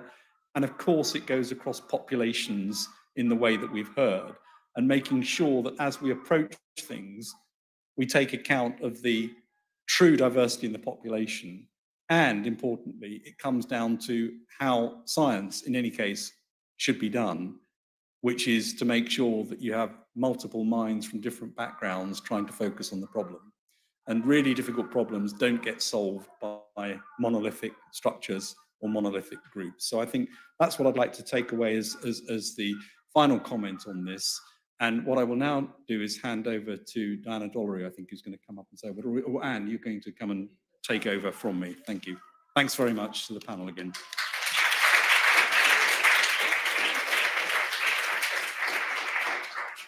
So can I also thank the panelists, but also particularly thanks to Patrick Vallance um, as Chief Scientist Advisor to the government. He's carried an enormous load and continues to carry on his shoulders, and I think we're all very grateful to him everything he's done and for sparing the time today, Patrick. So very many thanks for you to you. We couldn't have uh, done today without the tremendous support we've had from the Dollery family, and it's such a pleasure to have so many of the family here with us today, and particularly to have Lady Diana Dollery with us here today. And she has very kindly agreed to give us a few words about her late husband, Sir Colin Dollery. You've heard many of our speakers refer to his extraordinary contribution to pharmacology.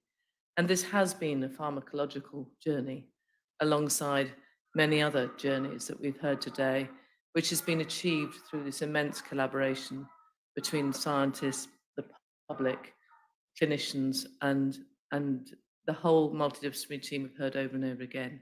But let's hear from the person who has us the best stories to tell us, Lady Diana Dollery. Please come.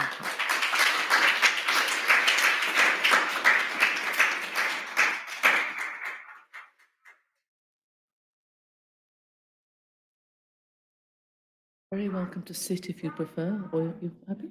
Okay, fine. So something to hold on to here. Yeah. My apologies, it comes from getting old. Um, so you'll have to forgive me. It was a fascinating afternoon, and I'm sure Colin would have been one of the first to ask questions.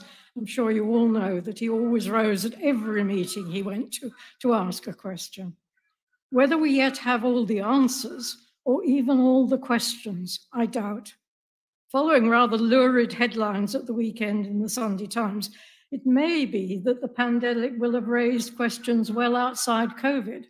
And actually, I think the speakers today raised a lot of things in the way we might change the way things are done.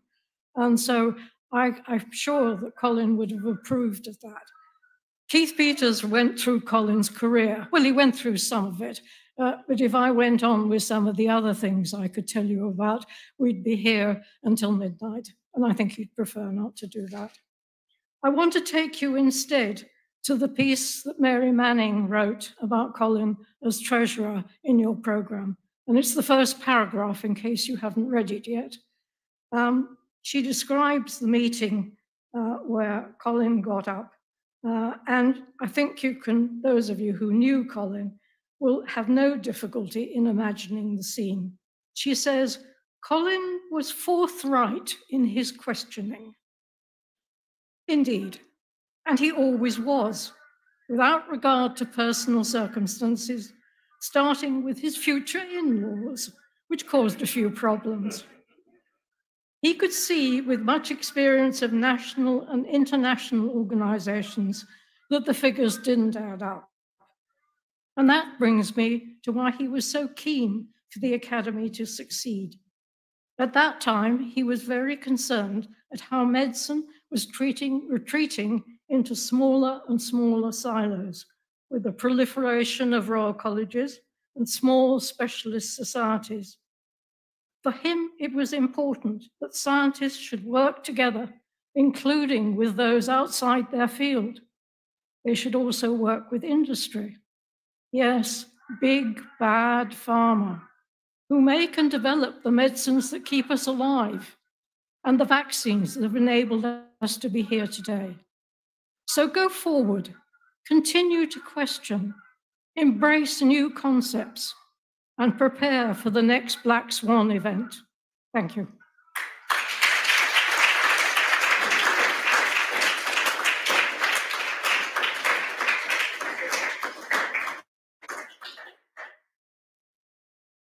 Thank you so much, Lady Dollery, and thank you all for your support today. Uh, wonderful to have you here, wonderful to hear, and I hope you will feel this meeting has been fitting to Sir Colin's memory.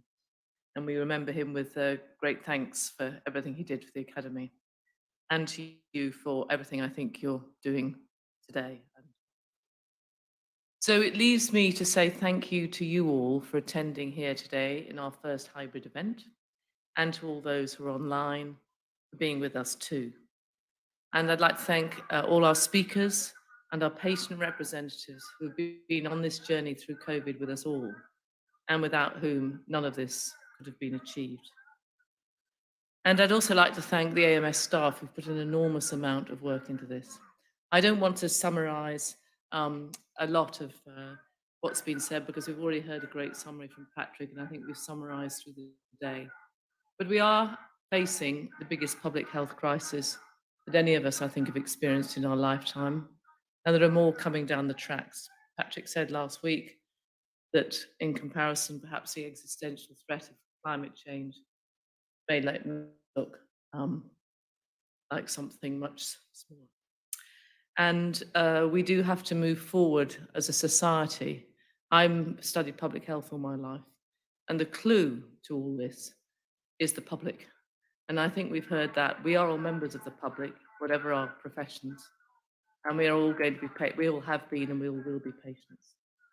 And the clue is, I think, in everything that's been said today, that the public have made a huge contribution to behavioural change, societal change in the struggle we've had with this pandemic, and they will continue to do so.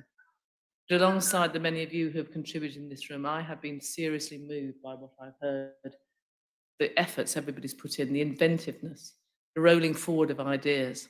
But also, I think we've also managed to solve some of, not solve, but really make progress on the intractable problems that existed before the pandemic. We must do something about inequalities, but we've really begun to use data better. We've come together as a community. We've begun to solve the inertia around digital health that we've heard a lot about. Thank goodness we've had June at the helm there, speeding up regulation. And we've had uh, the patient voices.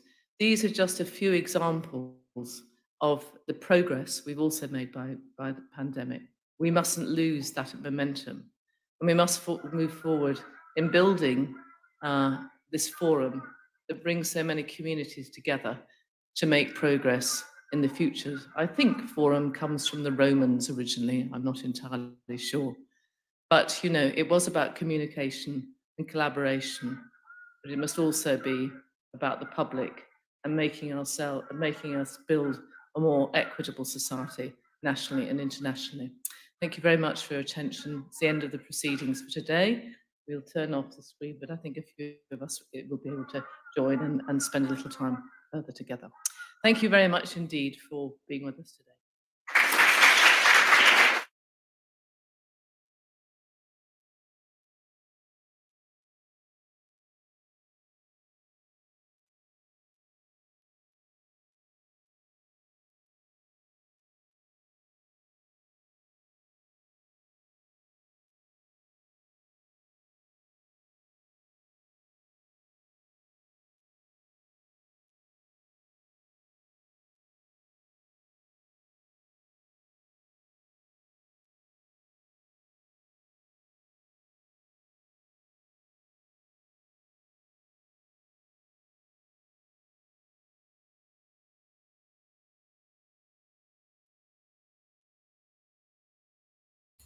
Yeah, there you go, everyone. It's finished now. So we're going to turn it off. See you later.